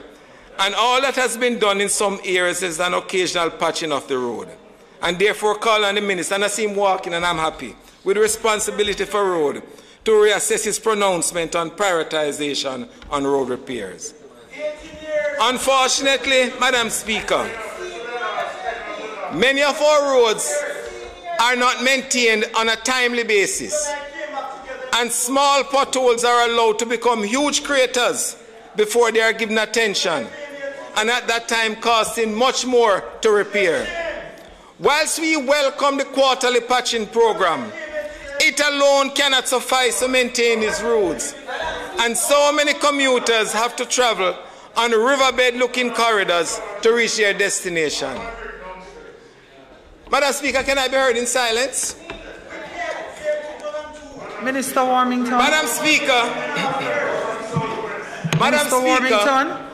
When the roads don't get fixed, it is the MP who is hurled all types of abuses. But what our citizens need to understand is that no matter what type of representation one makes on behalf of the constituency in fixing the road, it is up to the government of the day to allocate resources. Madam Speaker, there was talk of the One Road Authority many years ago. I think it was when the member from Central Clarendon. Member Guy, I you, think it was. Member Guy, you will have extra time. Member Warmington. Madam Speaker, do you have a point of order in the member's Point speech? of order. Madam Speaker. Madam Speaker. Madam Speaker. Clarification, Madam Speaker. Madam Speaker. Mem- member What's the point of order? Warmington. Member Warmington. That's you cannot interruption, have Madam point Speaker. of order, point of clarification. I'm saying clarification here, Mr. Madam Speaker. No clarification is requested. Clarification. That no member. clarification is requested. Take your Madam seat, Speaker, Madam sit down. You sit down. You're quashing Sit way. Take your seat. You sit down. He has never asked me for six and never got go, get it. Madam Speaker, that's an abuse. He knows. That's abuse of the House privilege. Once that's an he abuse. asks, he has always got an It's an assistance. abuse of the House privilege. All members here. Never. Madam Speaker, may Member, say member here? Warmington. No, no. Madam Take your seat, Speaker. I'm. Madam Speaker. Ma- Madam Speaker. Angela, shut him On a point of order, Madam Speaker. Bigger you. Madam Member Speaker, on a point of order. Member Warmington. Member Warmington, you know the standing orders better than any of us in this Why honorable ask for house. clarification, Madam Speaker? And, and, and, and, and Member Warmington, Minister Warmington, I'm asking you, whenever a member is on their feet delivering a speech, especially in a constituency debate and not a ministerial presentation, I ask that you allow them to finish and not break them with any point of order. Madam Speaker, you just mentioned that I know the standing order. Yes, you do. I say, yes, I can be making a presentation and a council debate, but when I mislead the House, it's my duty to inform the House that is, in, is, is wrong. And I'm saying, as far as that member is concerned, he has Ma- never Madam- asked me for assistance. Madam Speaker. And never gotten it. Madam Speaker. Uh, Tony. Madam Speaker. I'm no. addressing Speaker. No, Take no, your seat, man. no, a point of order. And a point of order, Madam Speaker. Ma- Madam, And a Mr. point of order, Madam Speaker. Mr. Point of Hylton. order. Point of order, Madam Take Speaker. your seat and in a Madam- point of Madam order and Speaker. clarification. Take your That's seat. a point of order. That's why you're a quash lawyer. You don't understand what the rules are. Look, man. Madam Speaker, Madam, that's second. an abuse of Madam- the House privilege. Tony. That's an abuse Tony, of the House privilege. Madam Members. Speaker, I listened to you earlier and I have a tremendous amount of respect for you. If it is that a member is going to abuse another one verbally by calling them names in this house, I don't believe you cannot refer to someone's reputation in this way, relegating them to the bottom of the barrel. It's not fair. And it is in poor taste. And I ask you to ask a member to rescind it. Um, mem- member, member Hanna, member.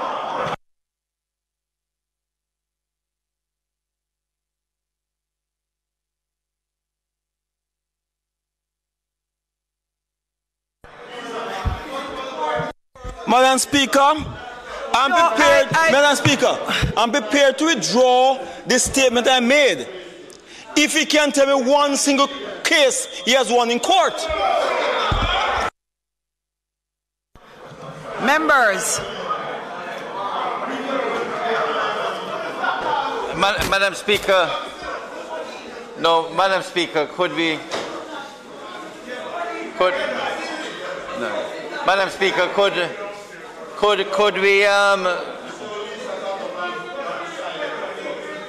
Madam Speaker, Ma- Madam Speaker, could, could the member's time for speaking be extended sufficiently for him to complete his presentation? member Guy, member Guy, the question is that your time be extended for you to complete your presentation. And a point of before order, Madam you, Speaker. Before you do speak, though, member Guy, let me say, member Warmington, thank you for withdrawing your statement.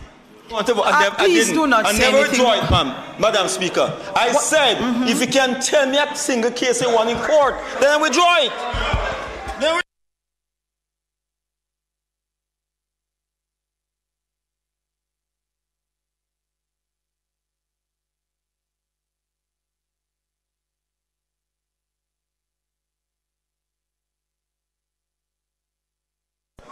Member, member Guy, member Guy, member Guy, before you continue, based on member Minister Warmington's outburst, as Speaker, I will advise that you give him your long list of work and roads to be done. Since his statement is on a point of order of you never having been refused. Madam Speaker, Continue, member Guy. I thank you. I thank you. No, on a, on a point I of thank order. you for your protection. Oh. On, on a point of order, Madam Speaker, the question raised by the member from Southeast St. Ann, which I thought was an issue that needed your intervention, has not been addressed. It is in terms of the statements made by the member from Southwest St. Catherine in relation to the member from Western St. Andrew. It, I believe, is unbecoming in terms of the language used towards another member. And I believe that it is, it really and truly, if we are setting an example, this is not it.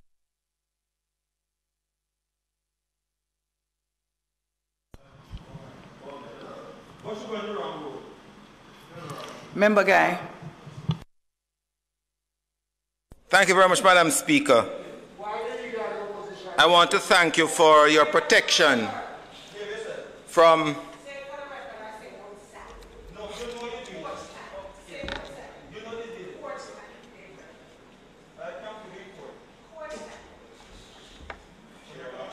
Members, Madam could you Speaker. please allow Member Guy sufficient time and quiet to complete his presentation? I have found it engaging and would love to hear him.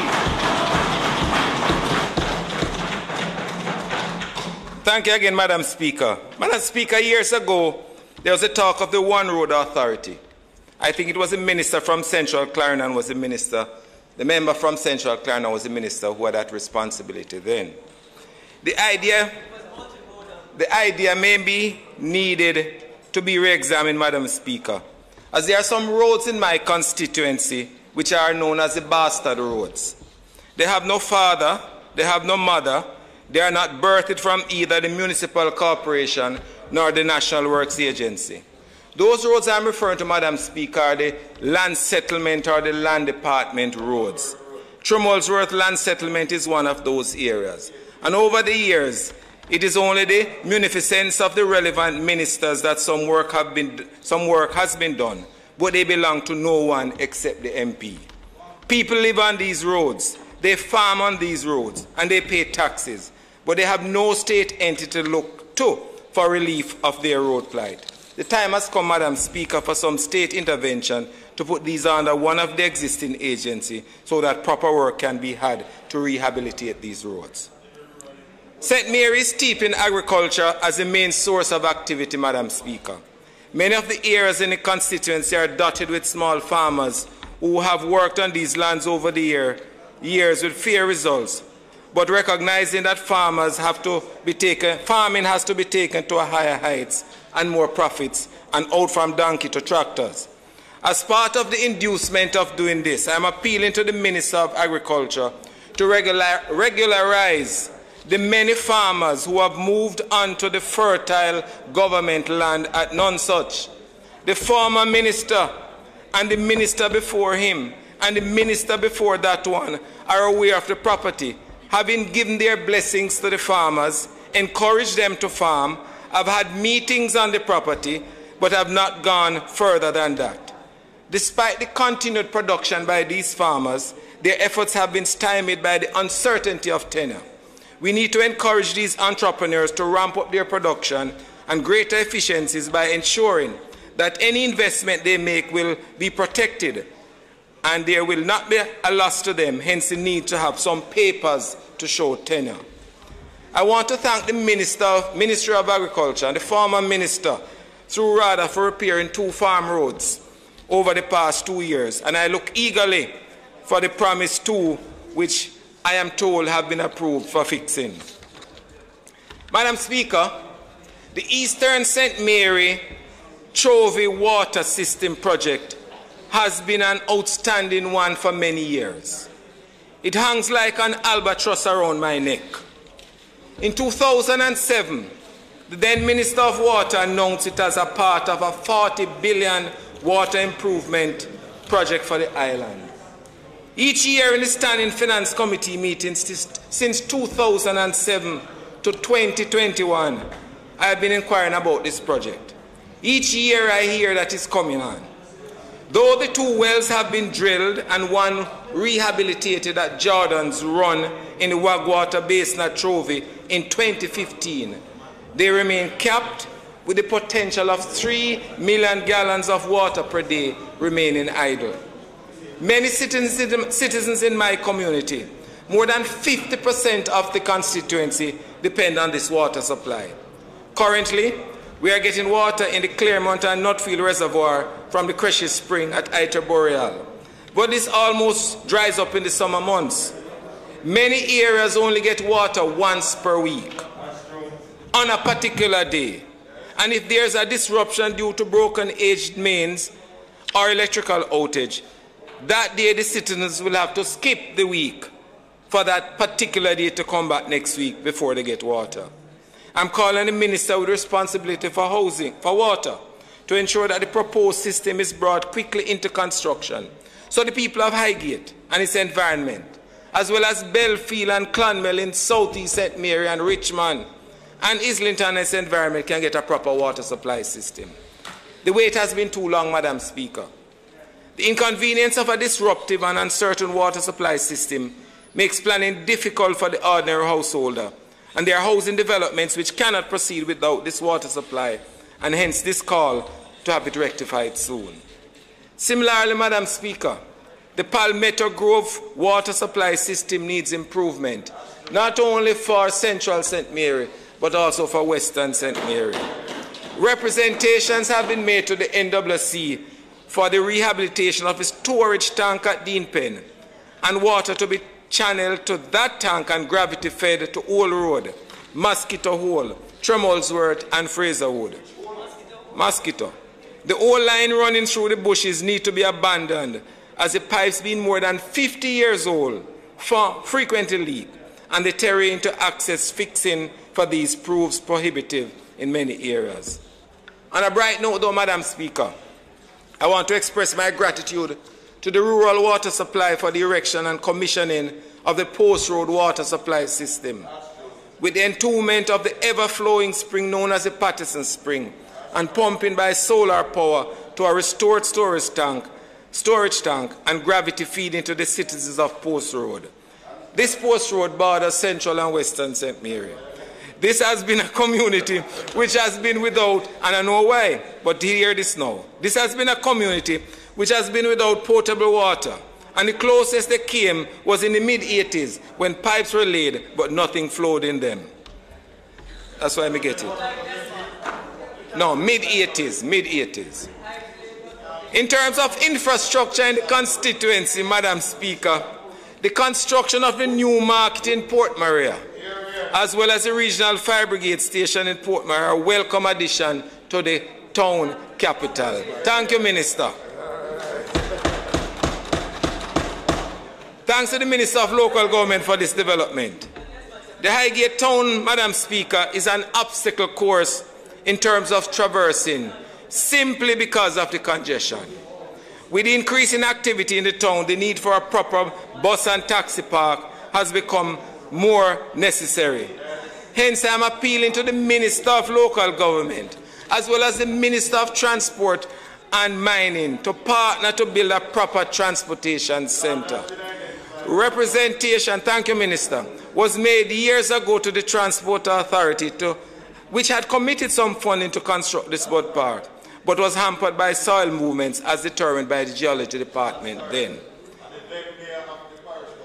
In, in terms of traffic management, Madam Speaker, the township of Port Maria on any day and any time of day poses challenges in traversing the town due to the traffic congestion. I'm again calling the National Works Agency, and I think the minister has left, or is he still here? And the minister with responsibility for works to look at creating a bypass and to reactivate the 20-year-old plan for the bypass of that town which came with the North Coastal Highway Improvement Project of the 2000s. St. Mary's is primarily an agricultural parish, as I said, but we have a significant tourism product with significant workforce from the parish. Madam Speaker, in 2006 to 2007, we developed a concept plan for the expansion of the township of Port Maria with incorporation of an area suitable for villas and tourism housing construction in an area overlooking the sea to the eastern part of the town on the bluff known as Sheep Pen and capitalizing on the Pagee Beach below. All the land south of the town, Frontier Estate, east of the town, Sheep Pen and Quebec Estates are owned by the government. The concept was shared at the time with the UDC, and they started the process of designing this town expansion. This, Madam Speaker, unfortunately fell off the books after the 2007 change of government. But with increased activity in the township and the potential for greater activity, I again appeal to the UDC to have a second look at that idea. The concept, Madam Speaker, was a fully integrated plan with housing development as well as a light commercial industrial area providing significant employment for the people of Port Maria and surrounding areas. In terms of further development, Madam Speaker, I'm imploring the NWA to have a renewed look at the long proposed plans of establishing a bridge at Joe River. The citizens have been promised that for the past 15 years. Madam Speaker, although the Minister is not here today, I'm again making the appeal that I have been making for the past five years for the development of proper facilities at Pagee Beach. This, Madam Speaker, was all set to start in 2015-16 with plans drawn by TEF, approved and passed by the then Parish Council, but never proceeded after the 2016 elections. Despite promises each year in the Standing Finance Committee that the project would be starting, we are waiting with bated breath for the start of the construction. Pagee Beach, Madam Speaker, in case you have never been there, is one of the finest non-white sand beaches in this country. You don't know that, Montague? Oh? All right. Solo. Madam Speaker, we are grateful to the Minister of Technology and the USF for the community access point at Hillside Primary School and the plan to establish two more approved for Woodside and Albion Mountain. In this period with the school not offering face, schools not offering face-to-face -face classes, it has become more important to have these facilities up and running. I'm particularly excited by the announcement of the Minister, finally, of plans to establish public Wi-Fi in the township of Highgate and Port Maria. This announcement has been consequent on a request of my office from a long, long time ago. I cannot leave the telecom sector, Madam Speaker, without commenting on the selfish and wicked and criminal act engaged by persons who steal copper wire carrying telecommunication data. Last year they stole a section Last year they stole a section of the cable in Zion Hill Barracks River which deprived these areas as well as Flint River of landline and internet services. Both Zion Hill Primary School and the Beecham Hill Primary Schools have been affected. And you know what, Madam Speaker, the company replaced the lines only to have them stolen, restolen weeks later after the replacement. And seemingly now the company is not inclined to replace the copper cables again. And these citizens will have to wait until the fiber is considered for these areas, fiber. I've heard other members of parliament speak in their state of the constituents debates, Madam Speaker. But little did I know that even I would be suffering from the same fate. Two weeks ago, Madam Speaker, they struck, depriving my neighborhood and the adjoining community of Belfield and surrounding areas both internet and telephone services. This, Madam Speaker, cannot be allowed to happen. The local criminals who are no doubt a part of the enterprise seem not to be concerned about the negative effect it will have on the education of the children in their community and sometimes even their own children. I think it is time, Madam Speaker, in an effort to reduce incidences like these for the government to again have a ban put on the export of copper. I cannot think that the cash earned by these exporters can equate the cost of our underdevelopment and that of our children. I want to urge our citizens to report any suspicious activity to the police so that these perpetrators can be arrested. Madam Speaker, the educational program under CDF has primarily been used for tertiary bursaries of our children attending colleges and universities. Whilst based on the numbers, this has not been translated into much for each applicant. We have been, over the past year, able to do over 150 of these students. And we have supplemented that by seeking some assistance from private sources who have come on board. At the primary level, we have assisted just this year, not as much as a member from Southeast St. Um, St. Elizabeth. We have assisted only 250 students. Since the CDF was introduced in 2008, 2008, however, Madam Speaker, the constituency, this constituency of Central St. Mary, has been strong on education spending the lion's share of the annual allocation to education, despite even the pushback during the CDF community consultations. It is my view, it is our view, that education has to be the vehicle for poverty eradication. There's one national issue I need to speak on, Madam Speaker, which affects each and everyone in this chamber. None of us cannot but hear the loud noise that the motorbikes make when they careen around the roads. This noise is due to the removal by the operators of the silencers in the mufflers. Madam Speaker, this noise nuisance is one that can be arrested now and one which the police and the Island Traffic Authority can intervene with the appropriate equipment. The society, Madam Speaker, has become too lawless. As, and it stems from a turning a blind eye to small infractions of the law. If we can, if we continue to do that, then what we have been, if we continue to do what we have been doing, sorry, no doubt the lawbreakers become emboldened and engage in bigger and more serious crimes. Time to nip that in the bud. Finally, Madam Speaker, even though I speak very often on the COVID 19 pandemic as opposition spokesman on health and wellness, it would not be keeping in my, with my posture if I didn't use this debate to speak to COVID 19 vaccinations in the constituency. As a constituency, we have been out encouraging from very early and organizing the local health department vaccination sites.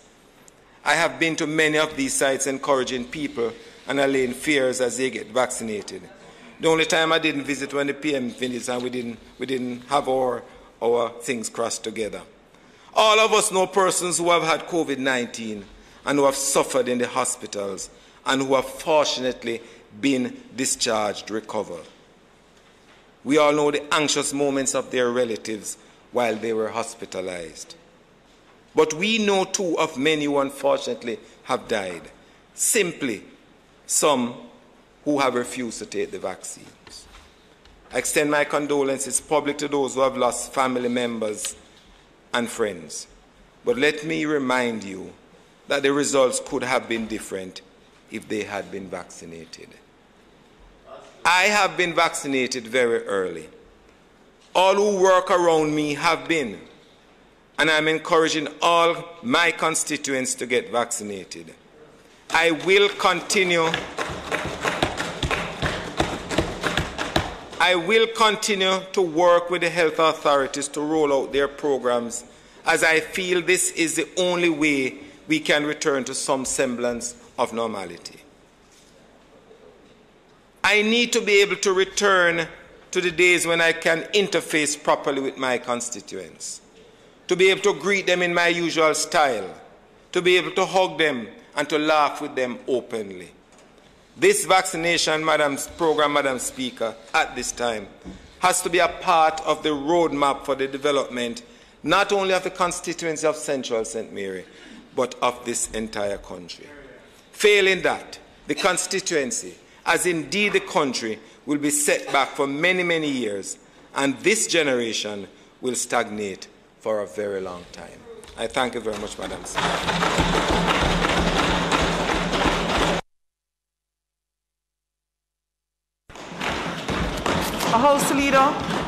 Thank, I want to thank the member from Central St. Mary for his contribution, Madam Speaker, and will now ask the member from Northwest Clarendon to make his presentation. House Leader, we are going to allow the member from Clarendon Northwestern to speak, after which I hope Member Warmington has returned to the chamber because I would like to address the breach of Standing Order 35 4 as it relates to certain comments. It's my pleasure, your maiden presentation. Thank you, Madam Speaker. Member Henriques. Madam Speaker, permission to speak from a seat that is not mine. Permission granted. Thank you. Madam Speaker, fellow members of Parliament, clerks and officers of the House of Representatives, good afternoon. I stand here today to represent with great pride and humility the people of a bountiful and picturesque nook of our beautiful island Clarendon Northwestern. Madam Speaker, over a year ago, while I was mislabeled as a deportee by some and told that I would be given a proper backsiding and sent back to where I came from, a well known popular memory gem came to mind, in the words of Henry Wadsworth Longfellow. The heights by great men reached and kept were not attained by sudden flight, but they, while their companions slept, were toiling upward in the night. Madam Speaker, it seems these words came to pass, and as we worked, others slept. I was welcomed by these warm people with open arms, and they hoped for the change they yearned to see. So much so that on September 3rd of 2020, I was honored to have been handed this blessed seat. Not once on election night or twice at the official recount the day after, but three times following a tedious magisterial recount process in what I feel made Madam Speaker was a resounding yes and confirmation of their confidence in my ability and also of their confidence in the leadership of the Jamaica Labour Party under the vision of the Prime Minister, the Right Honourable Andrew Holness. Madam Speaker, I thank them for their dedication and drive to return the seat to the Jamaica Labour Party for what some have called a decade of despair. The people of Clarendon Northwestern were truly eager to see the actualization of the seat's true potential, and I feel most honoured to be entrusted with such a charge. Madam Speaker, I would like to thank all the workers, PD captains, outdoor agents, indoor agents, and runners who toiled diligently and respectfully to bring back the seat to the JLP and to the 6,124 voters who went out and put their X beside the bell. I must also take this time to mention and express gratitude to my councillors, Clive Mundell, councillor for the Frankfield Division and Deputy Mayor of the parish of Clarendon, Councillor Colin Henry of the Thompsontown Division, Councillor caretakers Lloyd Blackstock of the Riches Division and CJ Bandu of the Spalding Division. My management team, led by Hydron Mikulski, advisors and administrative support. Madam Speaker, while I can't name all the very special people that contributed to my success on September 3rd, 2020, it would be remiss of me not to mention and thank four people who stood beside me through thick and thin, rain and shine, and who walked every step with me on the journey to success on September 3rd. Conroy Brown, who is here with us today, upstairs, Philip Mitchell, aka Nigo, Tara Bryan, and Sheldon Sinclair, who was responsible, who was responsible, Madam Speaker, in getting me back into representational politics through his measured and deliberate approaches. In fact, Madam Speaker, the victory was not made final until nearly a month after, when the recount was completed. And so I must thank the three lawyers that carried me through the process of the magisterial recount and ensured we remained victorious. And of course, most importantly, my dear family, for their love and support during these tedious proceedings. I would also like to recognize the Right Honourable Andrew Holness, who gave me this opportunity to take on the Clarendon Northwestern seat. Madam Speaker, the people of Clarendon Northwestern have endured almost 10 years, two terms, of neglect. In fact, they have suffered for three of the last four terms under a representative who has clearly failed to do many things, but most importantly, failed to represent well and advocate for the needs of the people. Allow me to list a few of the core challenges that have been facing the people of Clarendon Northwestern to provide some context. Lack of infrastructure, deplorable road conditions, declining, student, stru declining structural conditions of some schools and buildings, health centres and other public spaces, lack of access to electricity. Madam Speaker, from no streetlights in some communities to the daunting reality of areas that have never seen electricity. Communities like Cornhill and Woodside, Madam Speaker, Woodside, where the poles and wires were installed 10 years ago, until today, the people in the area have no electricity. Madam Speaker, I'm working on the solution, and I'm hoping for a successful resolution in the near future. Lack of access to water, the deterioration in some case, and in some cases the non-existence of piping has cursed many communities for over 10 years and in some cases more. Madam Speaker, our communities are in need of better internet and broadband services. Business development is a major problem that holds us back also. And climate change. And as my colleague, Minister Charles, pointed out earlier, is causing us some very serious problems. And as we grapple with the reality of our changing world, the constituency has been affected greatly by the effects of climate change and the lack of mitigation efforts. With unusually heavy rains, the clay-laden hillsides are prone to constant landslides. This leads to water-soaked land that causes slippages, breakaways, and collapse of our roads and bridges. Madam Speaker, though met with many challenges upon my entry, I adjusted my lens and sought opportunities as it is my core belief that with a desire to lead, a desire to effect change, and a desire to represent, much can be accomplished. So far, in my appointment as Member of Parliament, I have thought long and hard about what is needed to move the seat forward. Madam Speaker, my contemplations have led to the idea of resiliency.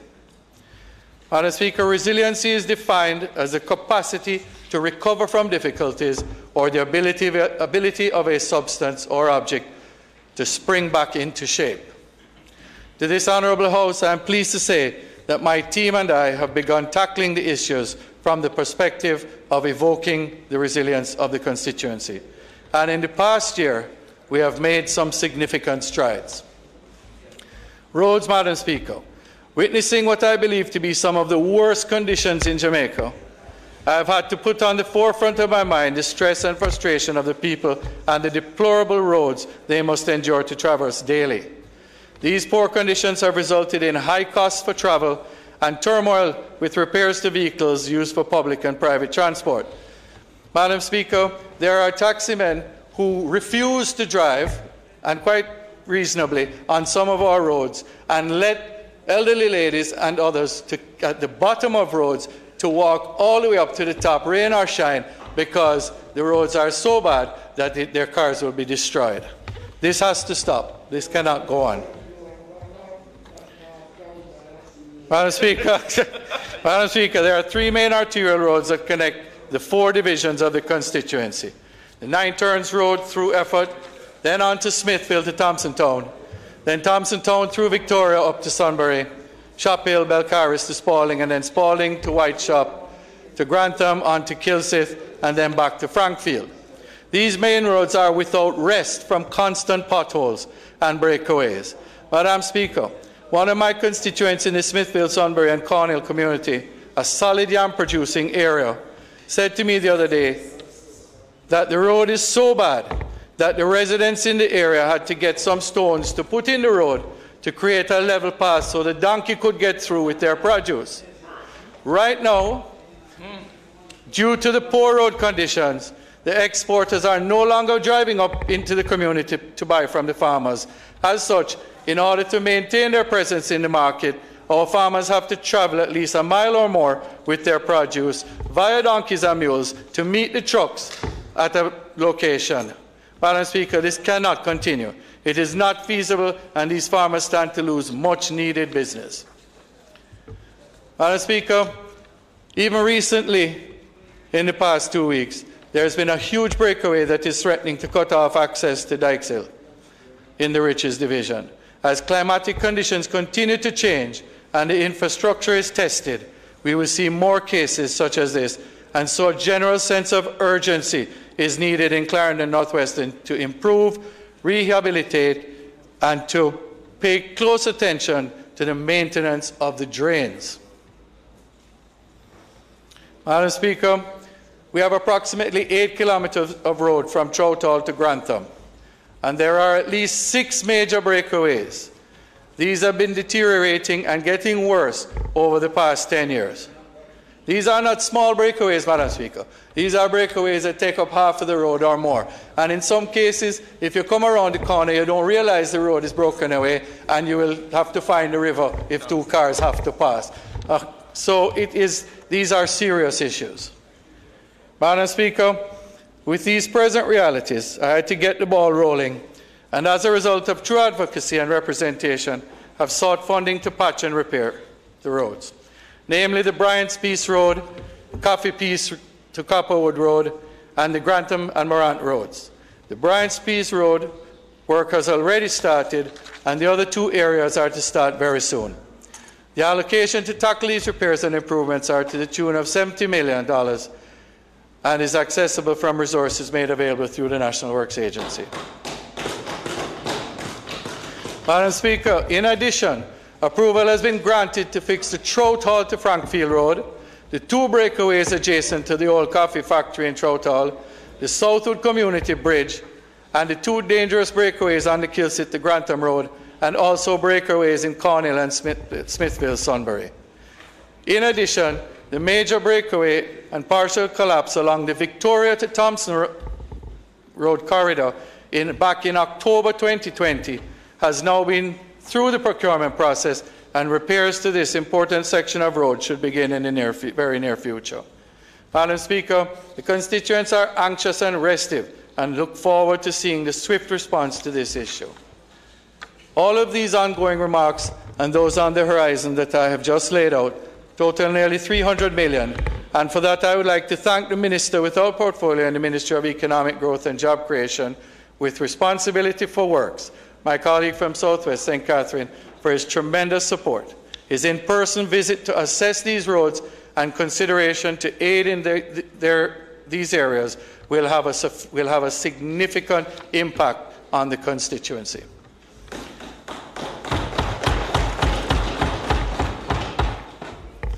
Madam Speaker, as we continue to tackle the bad conditions of the roads in the constituency, we try to forge partnerships and, and so through cooperation between myself and my councillor, Henry of the Thompson Town Division, and my colleague from Clarendon North Central, Minister Morgan,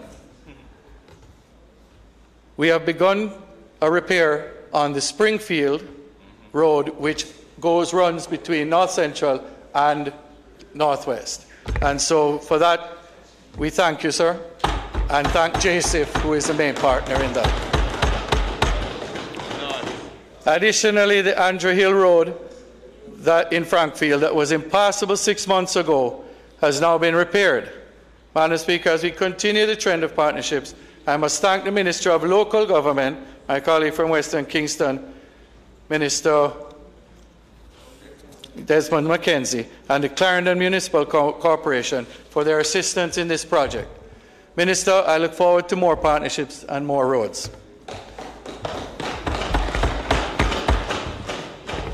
Madam Speaker, we have been allocated two farm roads, one in Bullocks and, and Morgan's Road, which work, which work will begin shortly on.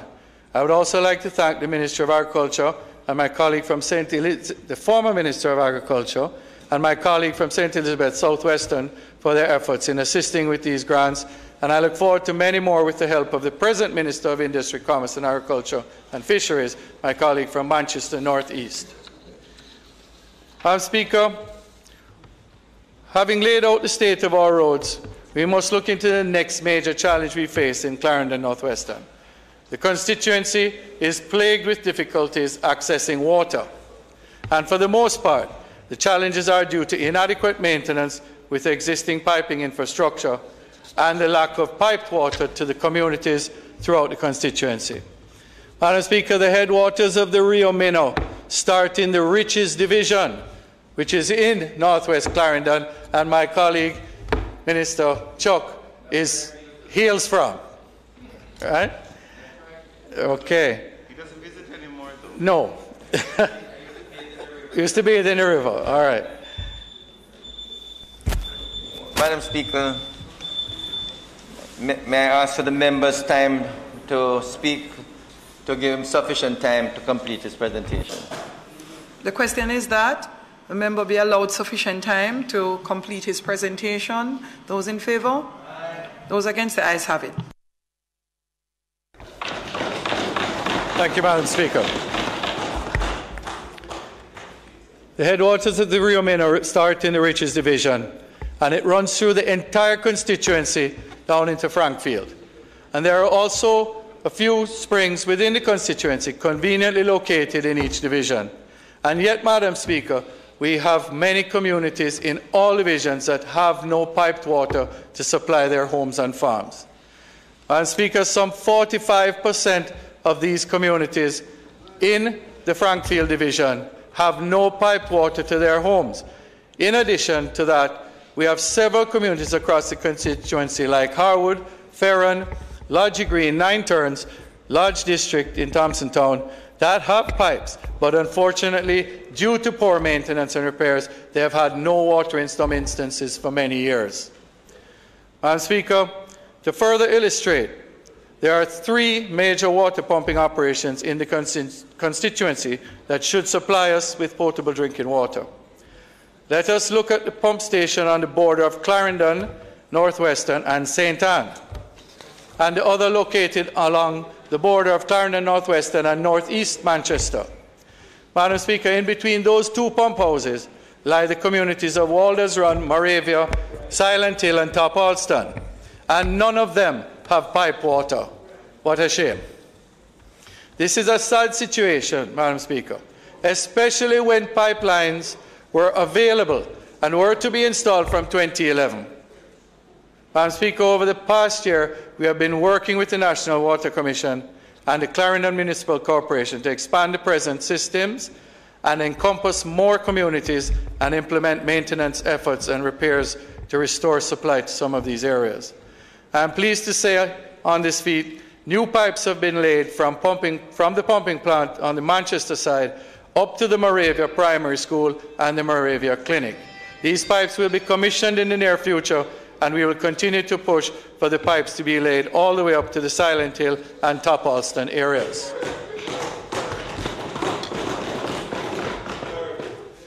Madam Speaker, the task has just begun, as we still have many communities and by extension some schools, churches and health centres that we are working towards getting pipe water to in the near future.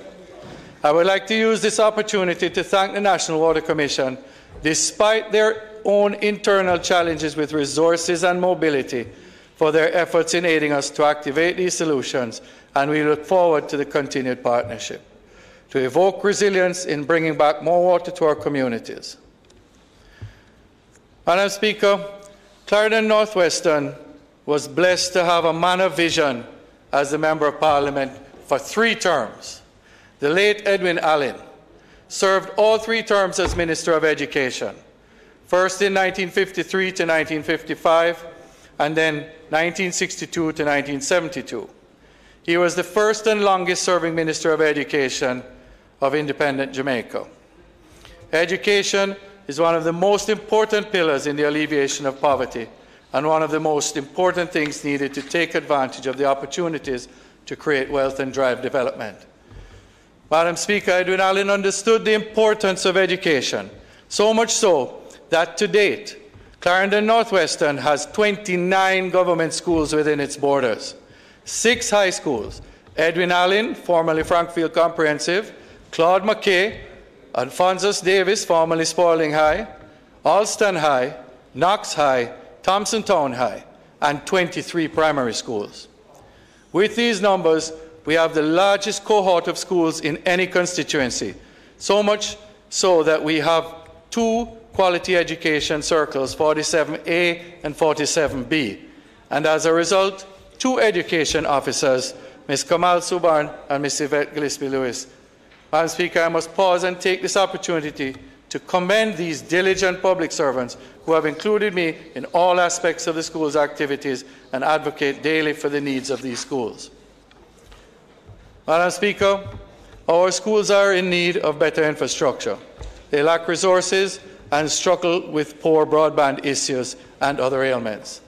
Having seen the needs in the constituency and my desire in maintaining the model of fortifying the educational prowess and advancements in Clarendon Northwestern, I intend to maintain and build on the legacy of the late Edwin Allen,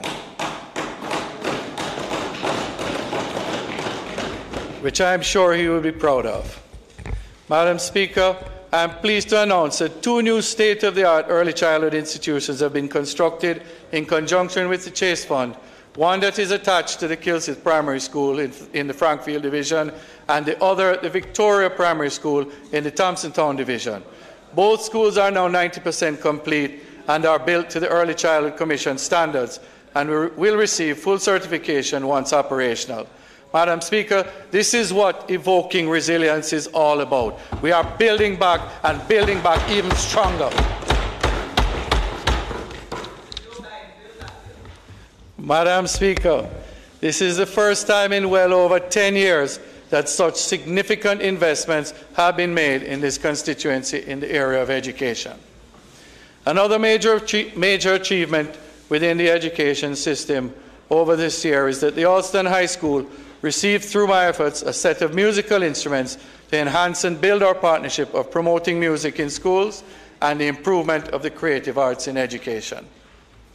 Madam Speaker, it is important we keep the legacy of Edwin Allen alive and as such, his namesake, Edwin Allen High School, has not been excluded from the trend of improvements across the constituency.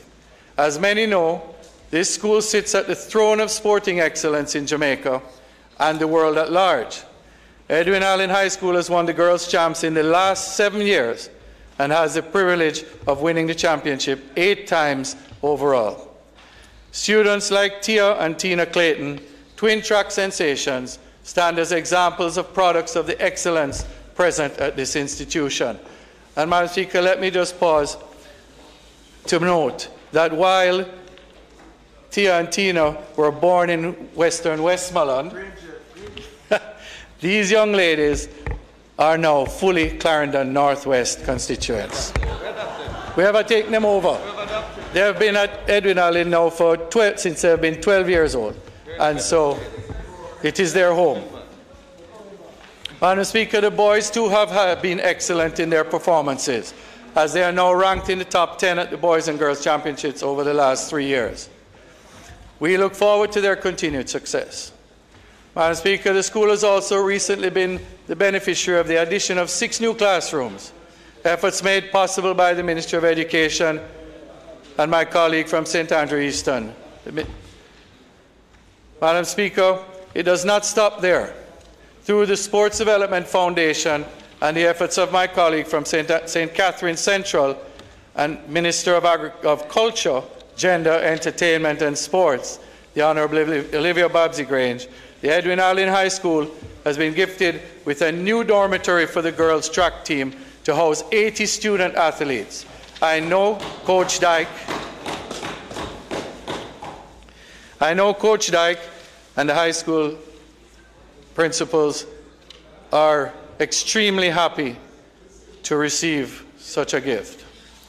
And I, too, must thank you for this grant and your continued commitment to the advancement of the youth in our country. The Honourable Edwin Allen would have been proud and well pleased. Madam Speaker, moving on to the constituency fund, Things are finally happening in, North, in Clarendon Northwestern, and I must say we are not standing still. Since my tenure as Member of Parliament and through my office, there have also been other contributions to the advancement of education. My office has awarded 300 students with educational assistance in the form of tuition grants book and book vouchers, a total investment in, in our youth of over $5 million. We, we have awarded an additional 55 students with tablets, laptops, and other learning devices. These students were in much need and will now be able to take full advantage of the new normal that is online school. And we have been blessed with reports of their passes and good results following this investment. Our office has also promoted and assisted over 180 constituents with signing up for the Own Your Own Device program and the Serve Jamaica eGov tablet initiative made available through the Ministry of Education. We must commend these two programs as they certainly have and will aid so many of our parents to access tablets. Madam Speaker, the grant of all these tablets and devices has highlighted the significant challenge of access to broadband and internet services within the constituency. So, much big up and thanks to the Universal Fund as our constituency is on its way to getting equipment to set up three public Wi Fi locations in Frankfield, Spalding, and the Victoria Square in Thompsontown Division. Madam Speaker, these installations will bring much needed internet to the hundreds of constituents and children who need this access to function daily at work or with school. Madam Speaker, I would also like to highlight that over the past year, we've had 12 more of our schools receive internet connectivity and would like to thank the Minister of Education for this initiative and look forward to the continued success of the programme. Madam Speaker, as my office is in the business of evoking resilience in, in the constituency, the living conditions of my constituents also need much attention. Through the Constituency Development Fund, I have managed to assist in the area of housing, and since my inception in the seat, I've spent over $2 million from resources made available to assist constituents which need aid to help them live in the homes that they have. There may not be large awards, but they are definitely important and well needed. Madam Speaker, on top of that, we have selected five individuals to benefit from the new social housing program, which falls under the office of the Prime Minister, the Right Honourable Andrew Holness ranging from the single parent households to larger nuclear families who are unfortunately unable to afford suitable living conditions. I believe I left out, and I'm sorry. Sorry? Most honourable, my apologies, Prime Minister. In the area of welfare and emergency, we have helped over 70 constituents so far. Gone now. Much needed assistance and spent approximately $1.5 million these funds have aided in the areas of medical emergency cases and also in assisting our most needy with funeral grants and other welfare support. Continuing on the topic of welfare, we have been able this year, during these very challenging times, to assist over 2,500 constituents with much needed food packages, and we continue to support our communities and those in great need with resources as we invest in our people and their well being. Madam Speaker, still on the topic of welfare, I must also mention three cases in particular. These individuals are beneficiaries of life enhancing surgeries that they would have otherwise not been able to afford. Madam Speaker, one constituent was able to do a spinal surgery, and the other two were able to undergo corrective surgery, eye surgery, to restore their eyesight. Madam Speaker, our greatest asset is our people, and we must take care, preserve, and support them.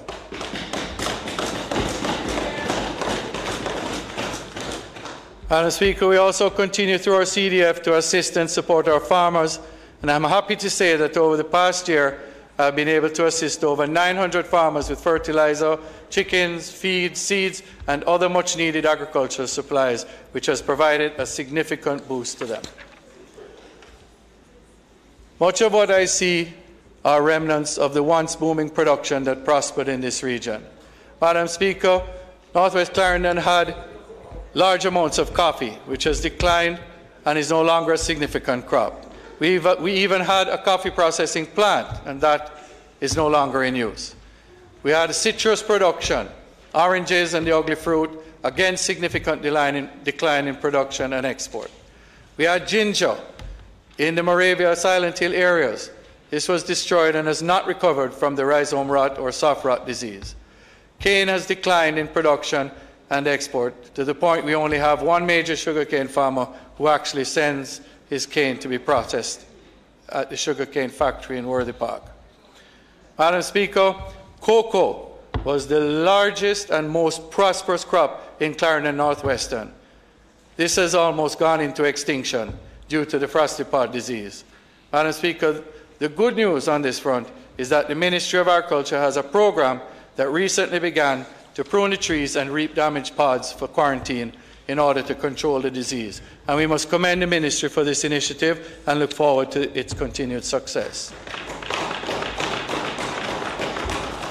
Madam Speaker, despite the declines of the above, and efforts to revive the glory crops of the past. We still have our yam, banana, dasheen, and cocoa, and some farmers are still growing carrots, lettuce, cabbage, and tomato, and other vegetable crops. Despite the above, there have been no developments in new and emerging areas of agriculture over the past years, as the constituency is in much need of funding to drive this development. As such, I call today on our CDF and must take this opportunity, Madam Speaker, to ask that we look into the matter of allowing the CDF to afford rural constituencies more flexibility and, if possible, increasing the maximum allocation within the scope of economic enablement funds for the consideration of agribusiness ventures. Madam Speaker, I see the reality that with the right energy, the right vision, and the right leadership, the once booming citrus industry within the Union Jericho, Trout Hall, Orange Hall, Orange Hill belt can be revived. The vast hillside of coffee farms from Smithville to Top Quarter to Brian's Peace and Coffee Peace can once again be a pillar of strength in the re-establishing of industries and commerce in the, in, in the constituency.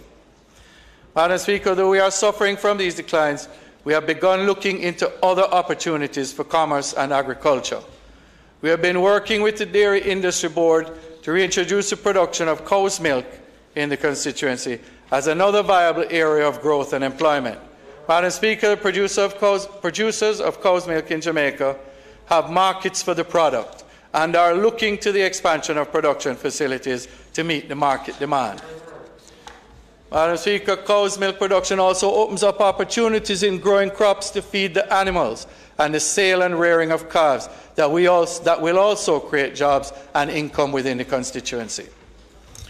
Also, Madam Speaker, the introduction of goat's milk production is one of the more exciting new areas of growth that will have a positive impact in the constituency. In the short and medium term, these products will see immense growth. Uh, Madam Speaker, I've been working with the Dairy Association on a pilot program they are promoting to increase the production of goat's milk in Jamaica. This program will aim to create linkages between schools and production clusters to promote and increase and the use of goat's milk and goat milk products. Madam Speaker, I have an initial agreement to do two or possibly three of the pilots within the constituency. Goat's milk is also in great demand and will allow for future growth possibilities. There is also goat breeding and the goat meat market to be further expanded within the constituency. Madam Speaker, another area, with great potential for growth in Clarendon Northwestern is the bamboo industry. Madam Speaker, the former, former MP Michael Stern began the push to expand into this area and was instrumental in working with the Bamboo Association to further move the industry along and expose the people of the constituency to the potential of this business. Following that, following that point, a project was started at Peckham. This was a joint venture funded by the OAS and included local organizations, namely the PIOJ, Clarendon Municipal Corporation, NHT, Heart Trust, and other agencies. Over the past year, I have been actively participating with the steering committee to move the project to completion. Madam Speaker, I'm pleased to say I have committed CDF funds to the project to create a new momentum and energy to the Peckham Bamboo project so that it can be completed in the very near future and handed over to the community members. Madam Speaker, as mentioned earlier, there is great promise in bamboo and as an industry.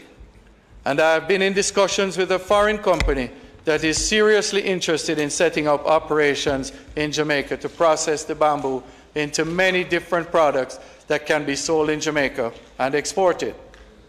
Products like biocharcoal, which can be sold locally and abroad. Madam Speaker, in fact, there is a demand for 12 million pounds each year in Canada alone. And we can also produce the fertilizer, toilet paper, hand towels, biodegradable packaging, for food, along with many other products. This is an innovative and eco-friendly industry, and so we can be assured that there will be no environmental hazards or pollutants left behind. and to contaminate our rivers and the air. Madam Speaker, I do not want to say any more about this venture at this time, as we are in the discussion and negotiation phase of the project. I am, however, hopeful that these negotiations will be successful and have a significant economic impact in Clarendon, Northwestern, and by extension, the surrounding constituencies and indeed Jamaica. In closing, Madam Speaker, the theme here has been about resiliency. And piece by piece, I have combed through each layer of the constituency, identifying opportunities and looking for ways to help it spring back into shape, to evoke its resiliency. The people of Clarendon Northwestern are hard workers, genuine and industrious people. They want to see a constituency and uh, Jamaica that is prosperous and that keeps prospering. I take my role in this mission very seriously and will continue to do as much as I can to see that we build better and build back even stronger. Thank you. God bless.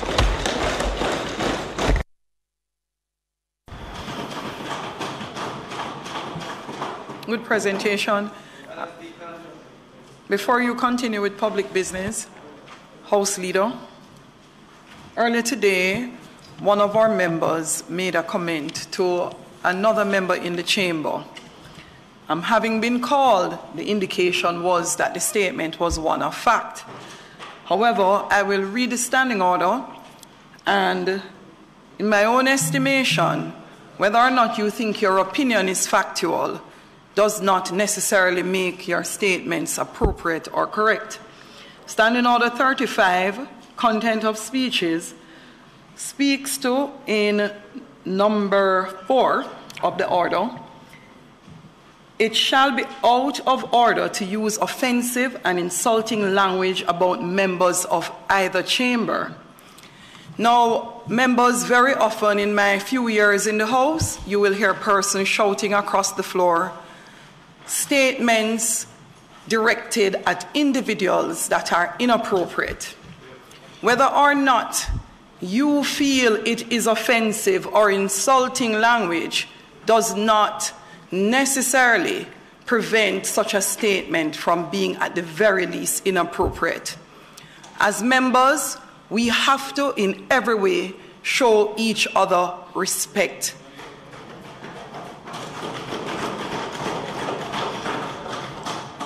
At the end of the day, when we belittle ourselves, it always comes back to each and every one of us. So I will commit to speak to the member again the discussion was had, consensus not arrived at.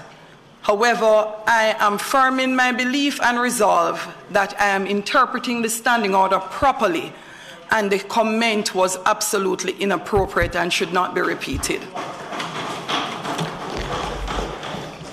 Madam Speaker. Allow Member Hylton. Yeah.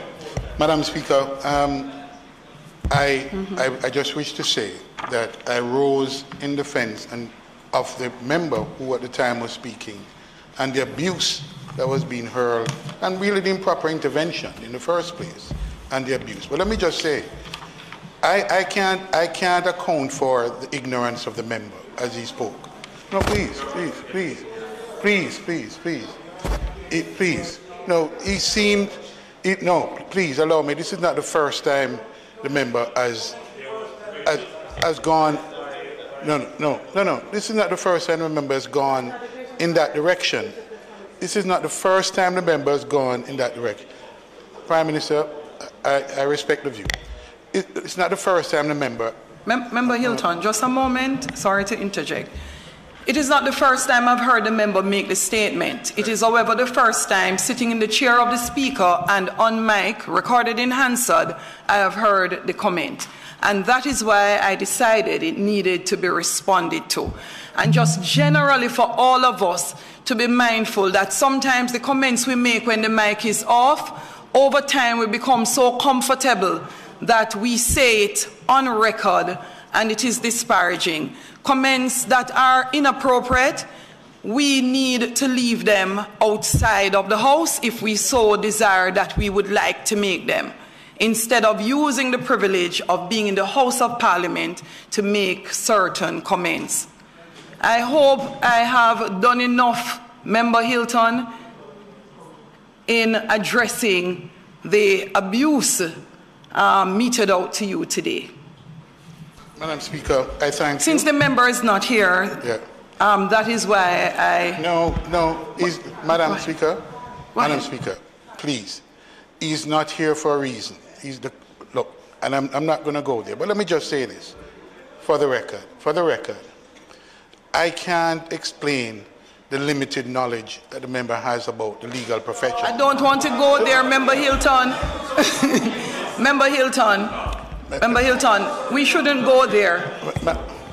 And, and especially with the member not being here, Member Hylton, I wouldn't want to go there. Mhm.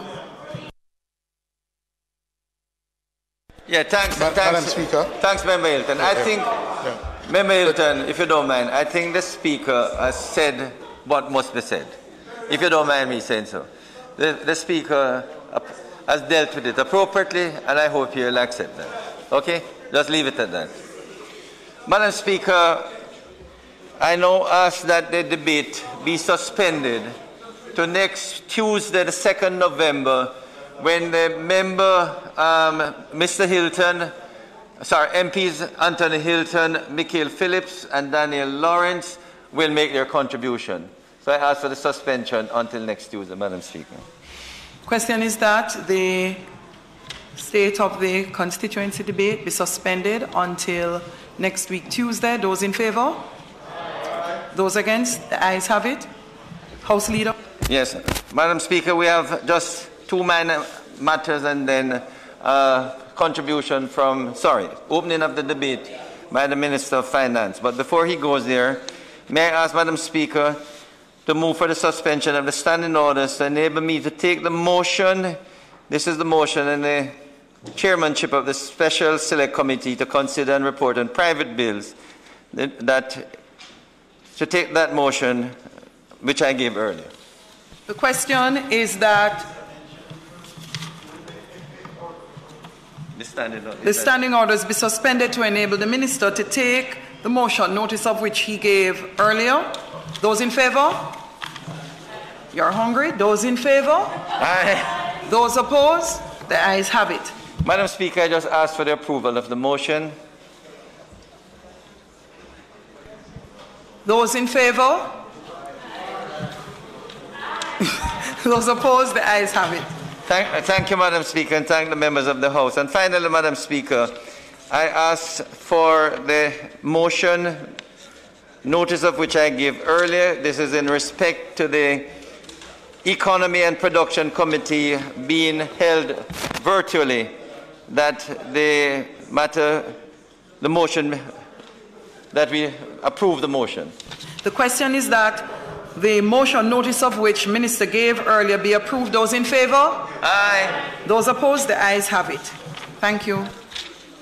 We now take the Minister of Finance, uh, Madam Speaker. Minister of Finance. Thank you, Madam Speaker. Madam Speaker, I stand here, I rise to commence the debate on the bill entitled the International Corporate and Trust Services Providers Change of Name and Amendment Act 2021. This bill seeks to amend the International Corporate and Trust Services Providers Act, the Principal Act, which was passed and assented to on August 18, 2017, and awaits an appointed day. The Principal Act seeks to regulate international trust and corporate service providers to prevent the misuse of these business arrangements as vehicles for illicit ends, such as money laundering and terrorism financing. The bill aims, Madam Speaker, to remove the distinction in treatment between the domestic and international service providers by bringing domestic service providers under the ambit of the legislation and to strengthen the provisions of the Principal Act. Madam Speaker, by way of background, the Principal Act which we now seek to amend sought to regulate providers of international trust and corporate, corporate services and applies to individuals, firms, and companies that engage in the business of providing international services. However, whilst the Act awaited the development and promulgation of regulations, it was recognized that there's a need to include domestic corporate and trust providers into the regulatory ambit of the Act because to maintain any distinction in treatment between the, the, domestic and international service providers, Madam Speaker, would run afoul of the requirements and standards of the Financial Action Task Force requirements. Madam Speaker, importantly, this was amongst the deficiencies cited in Jamaica's anti-money laundering, countering of terrorism financing, supervisory regime and contributed to Jamaica's inclusion in the current FATF colloquial expression grey list issued on February 21, 2020 as a jurisdiction subject to increased monitoring. This, um, this amendment bill that is proposed therefore, Madam Speaker, is critical to redeem Jamaica's standing and forms part of the suite of actions that are required for our removal from any of those listings by FATF. Madam Speaker, I now do a clause by clause presentation of the specific provisions of the bill.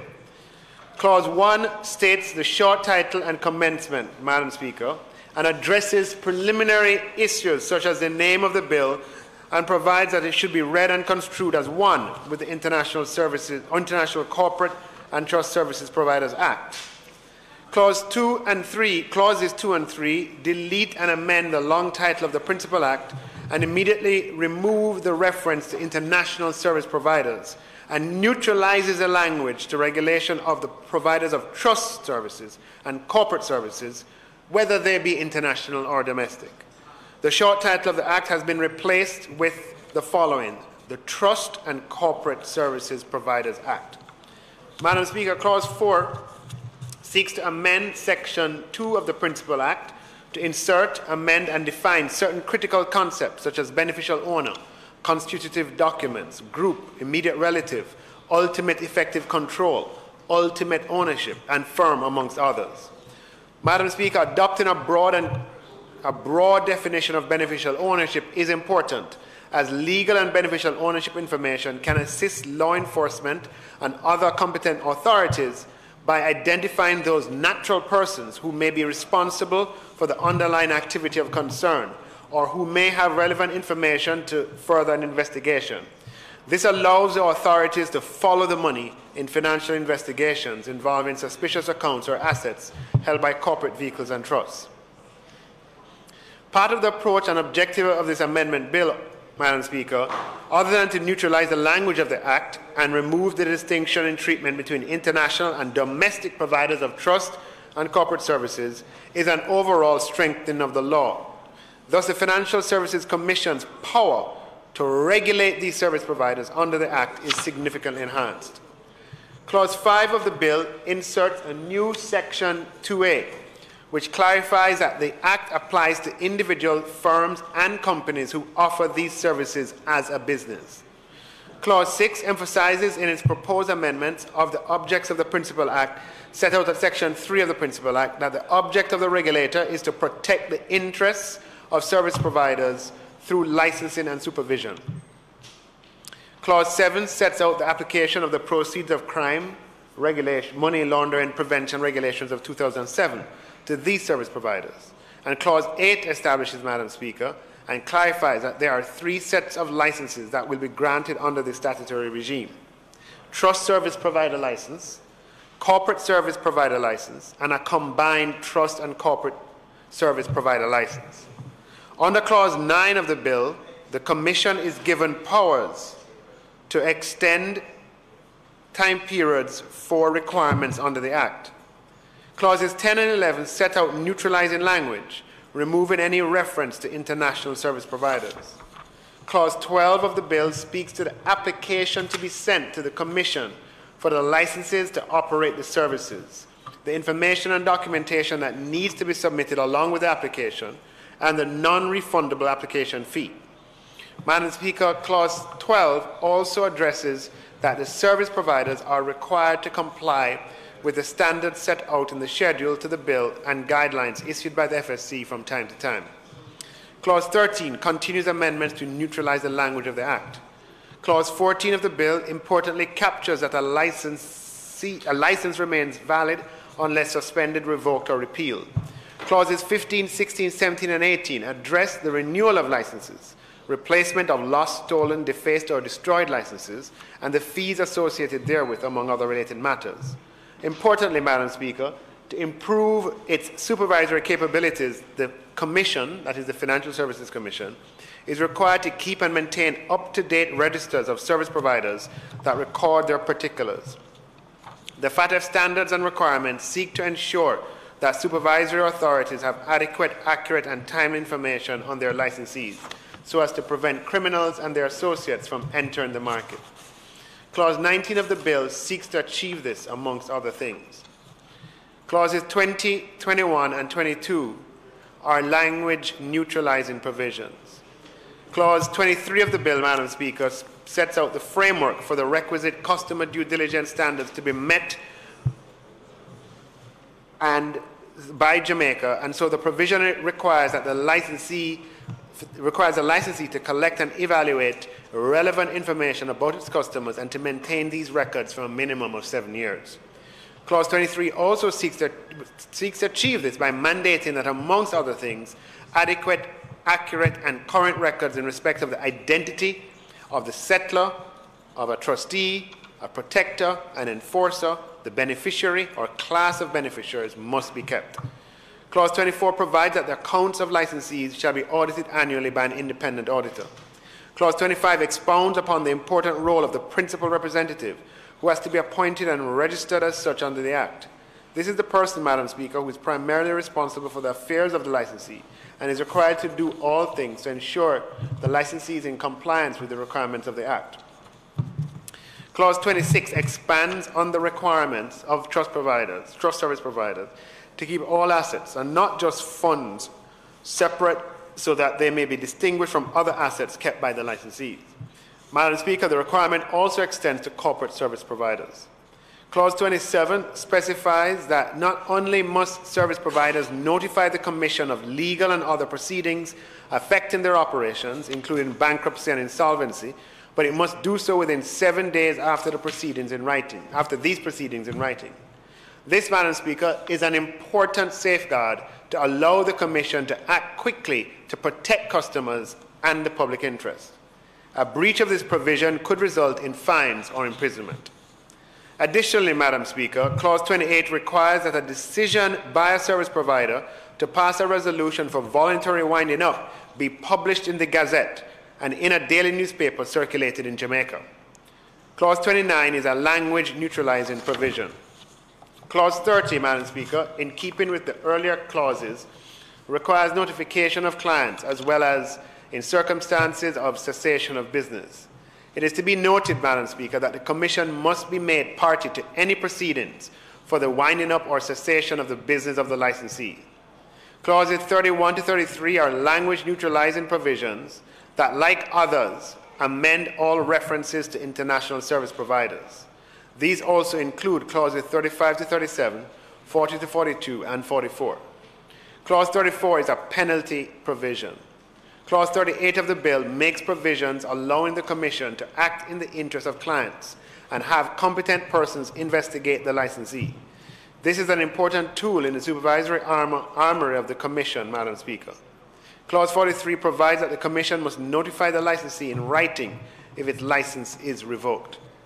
Clause 45 makes provision for the payment of a late fee if a licensee fails to comply with a requirement within the timeline given under the Act. Clause 46 ensures that guidelines issued by the Commission are approved by the Minister, and a breach of these guidelines can result in a fine or imprisonment. Clause 47 deletes references to international. Clause 49 gives those persons currently offering trust and corporate services 12 months after the appointed date to make an application for the appropriate license. Clause 49 amends, Clause 50 amends the Act by inserting a first schedule that outlines the costs for the various licenses, the cost for renewal, cost for the registration of the principal representatives, amongst other costs. Clause 51 provides for a second schedule, and Clause 52 expands the schedule to include an outline of offences and their penalties. Clause 52 also makes consequential amendments to the Financial Services Commissions Act, Madam Speaker. Madam Speaker, there are also consequential amendments to the Trust Act in respect of duty to keep records and duty to give information to financial institutions and designated non financial uh, institutions, amongst other important provisions. Madam Speaker, there are a few printing errors in the bill which will be remedied by the printers before the bill is presented to the Senate. In conclusion, Madam Speaker, with the passage of this law, we're seeking to ensure that Jamaica maintains a healthy financial system by deterring the use of business operations for the purposes of money laundering, the financing of terrorism, or the financing of proliferation of the weapons of mass destruction. And in passage of this law, this amendment bill, and operationalizing of it, Jamaica will be improving our anti money laundering regime and will hasten the time when Jamaica can be reviewed once again by the international entities and Jamaica can be moved off of the list that we are on uh, as of now. Madam Speaker, I now invite members of this honourable. Oh well, I, I, I, want I move, Madam Speaker, to suspend the debate on this bill uh, until our next sitting, not ne not next week, but until a future sitting.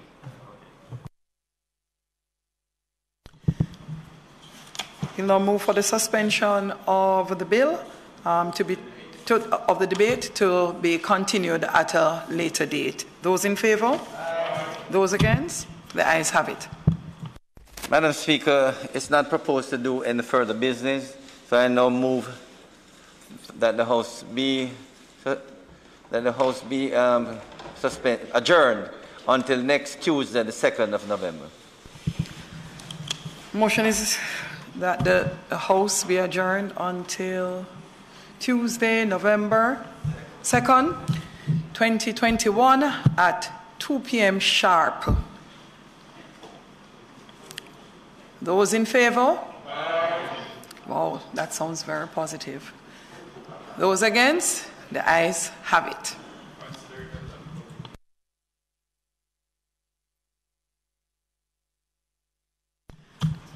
Since there are no further matters, this Honourable House now stands adjourned.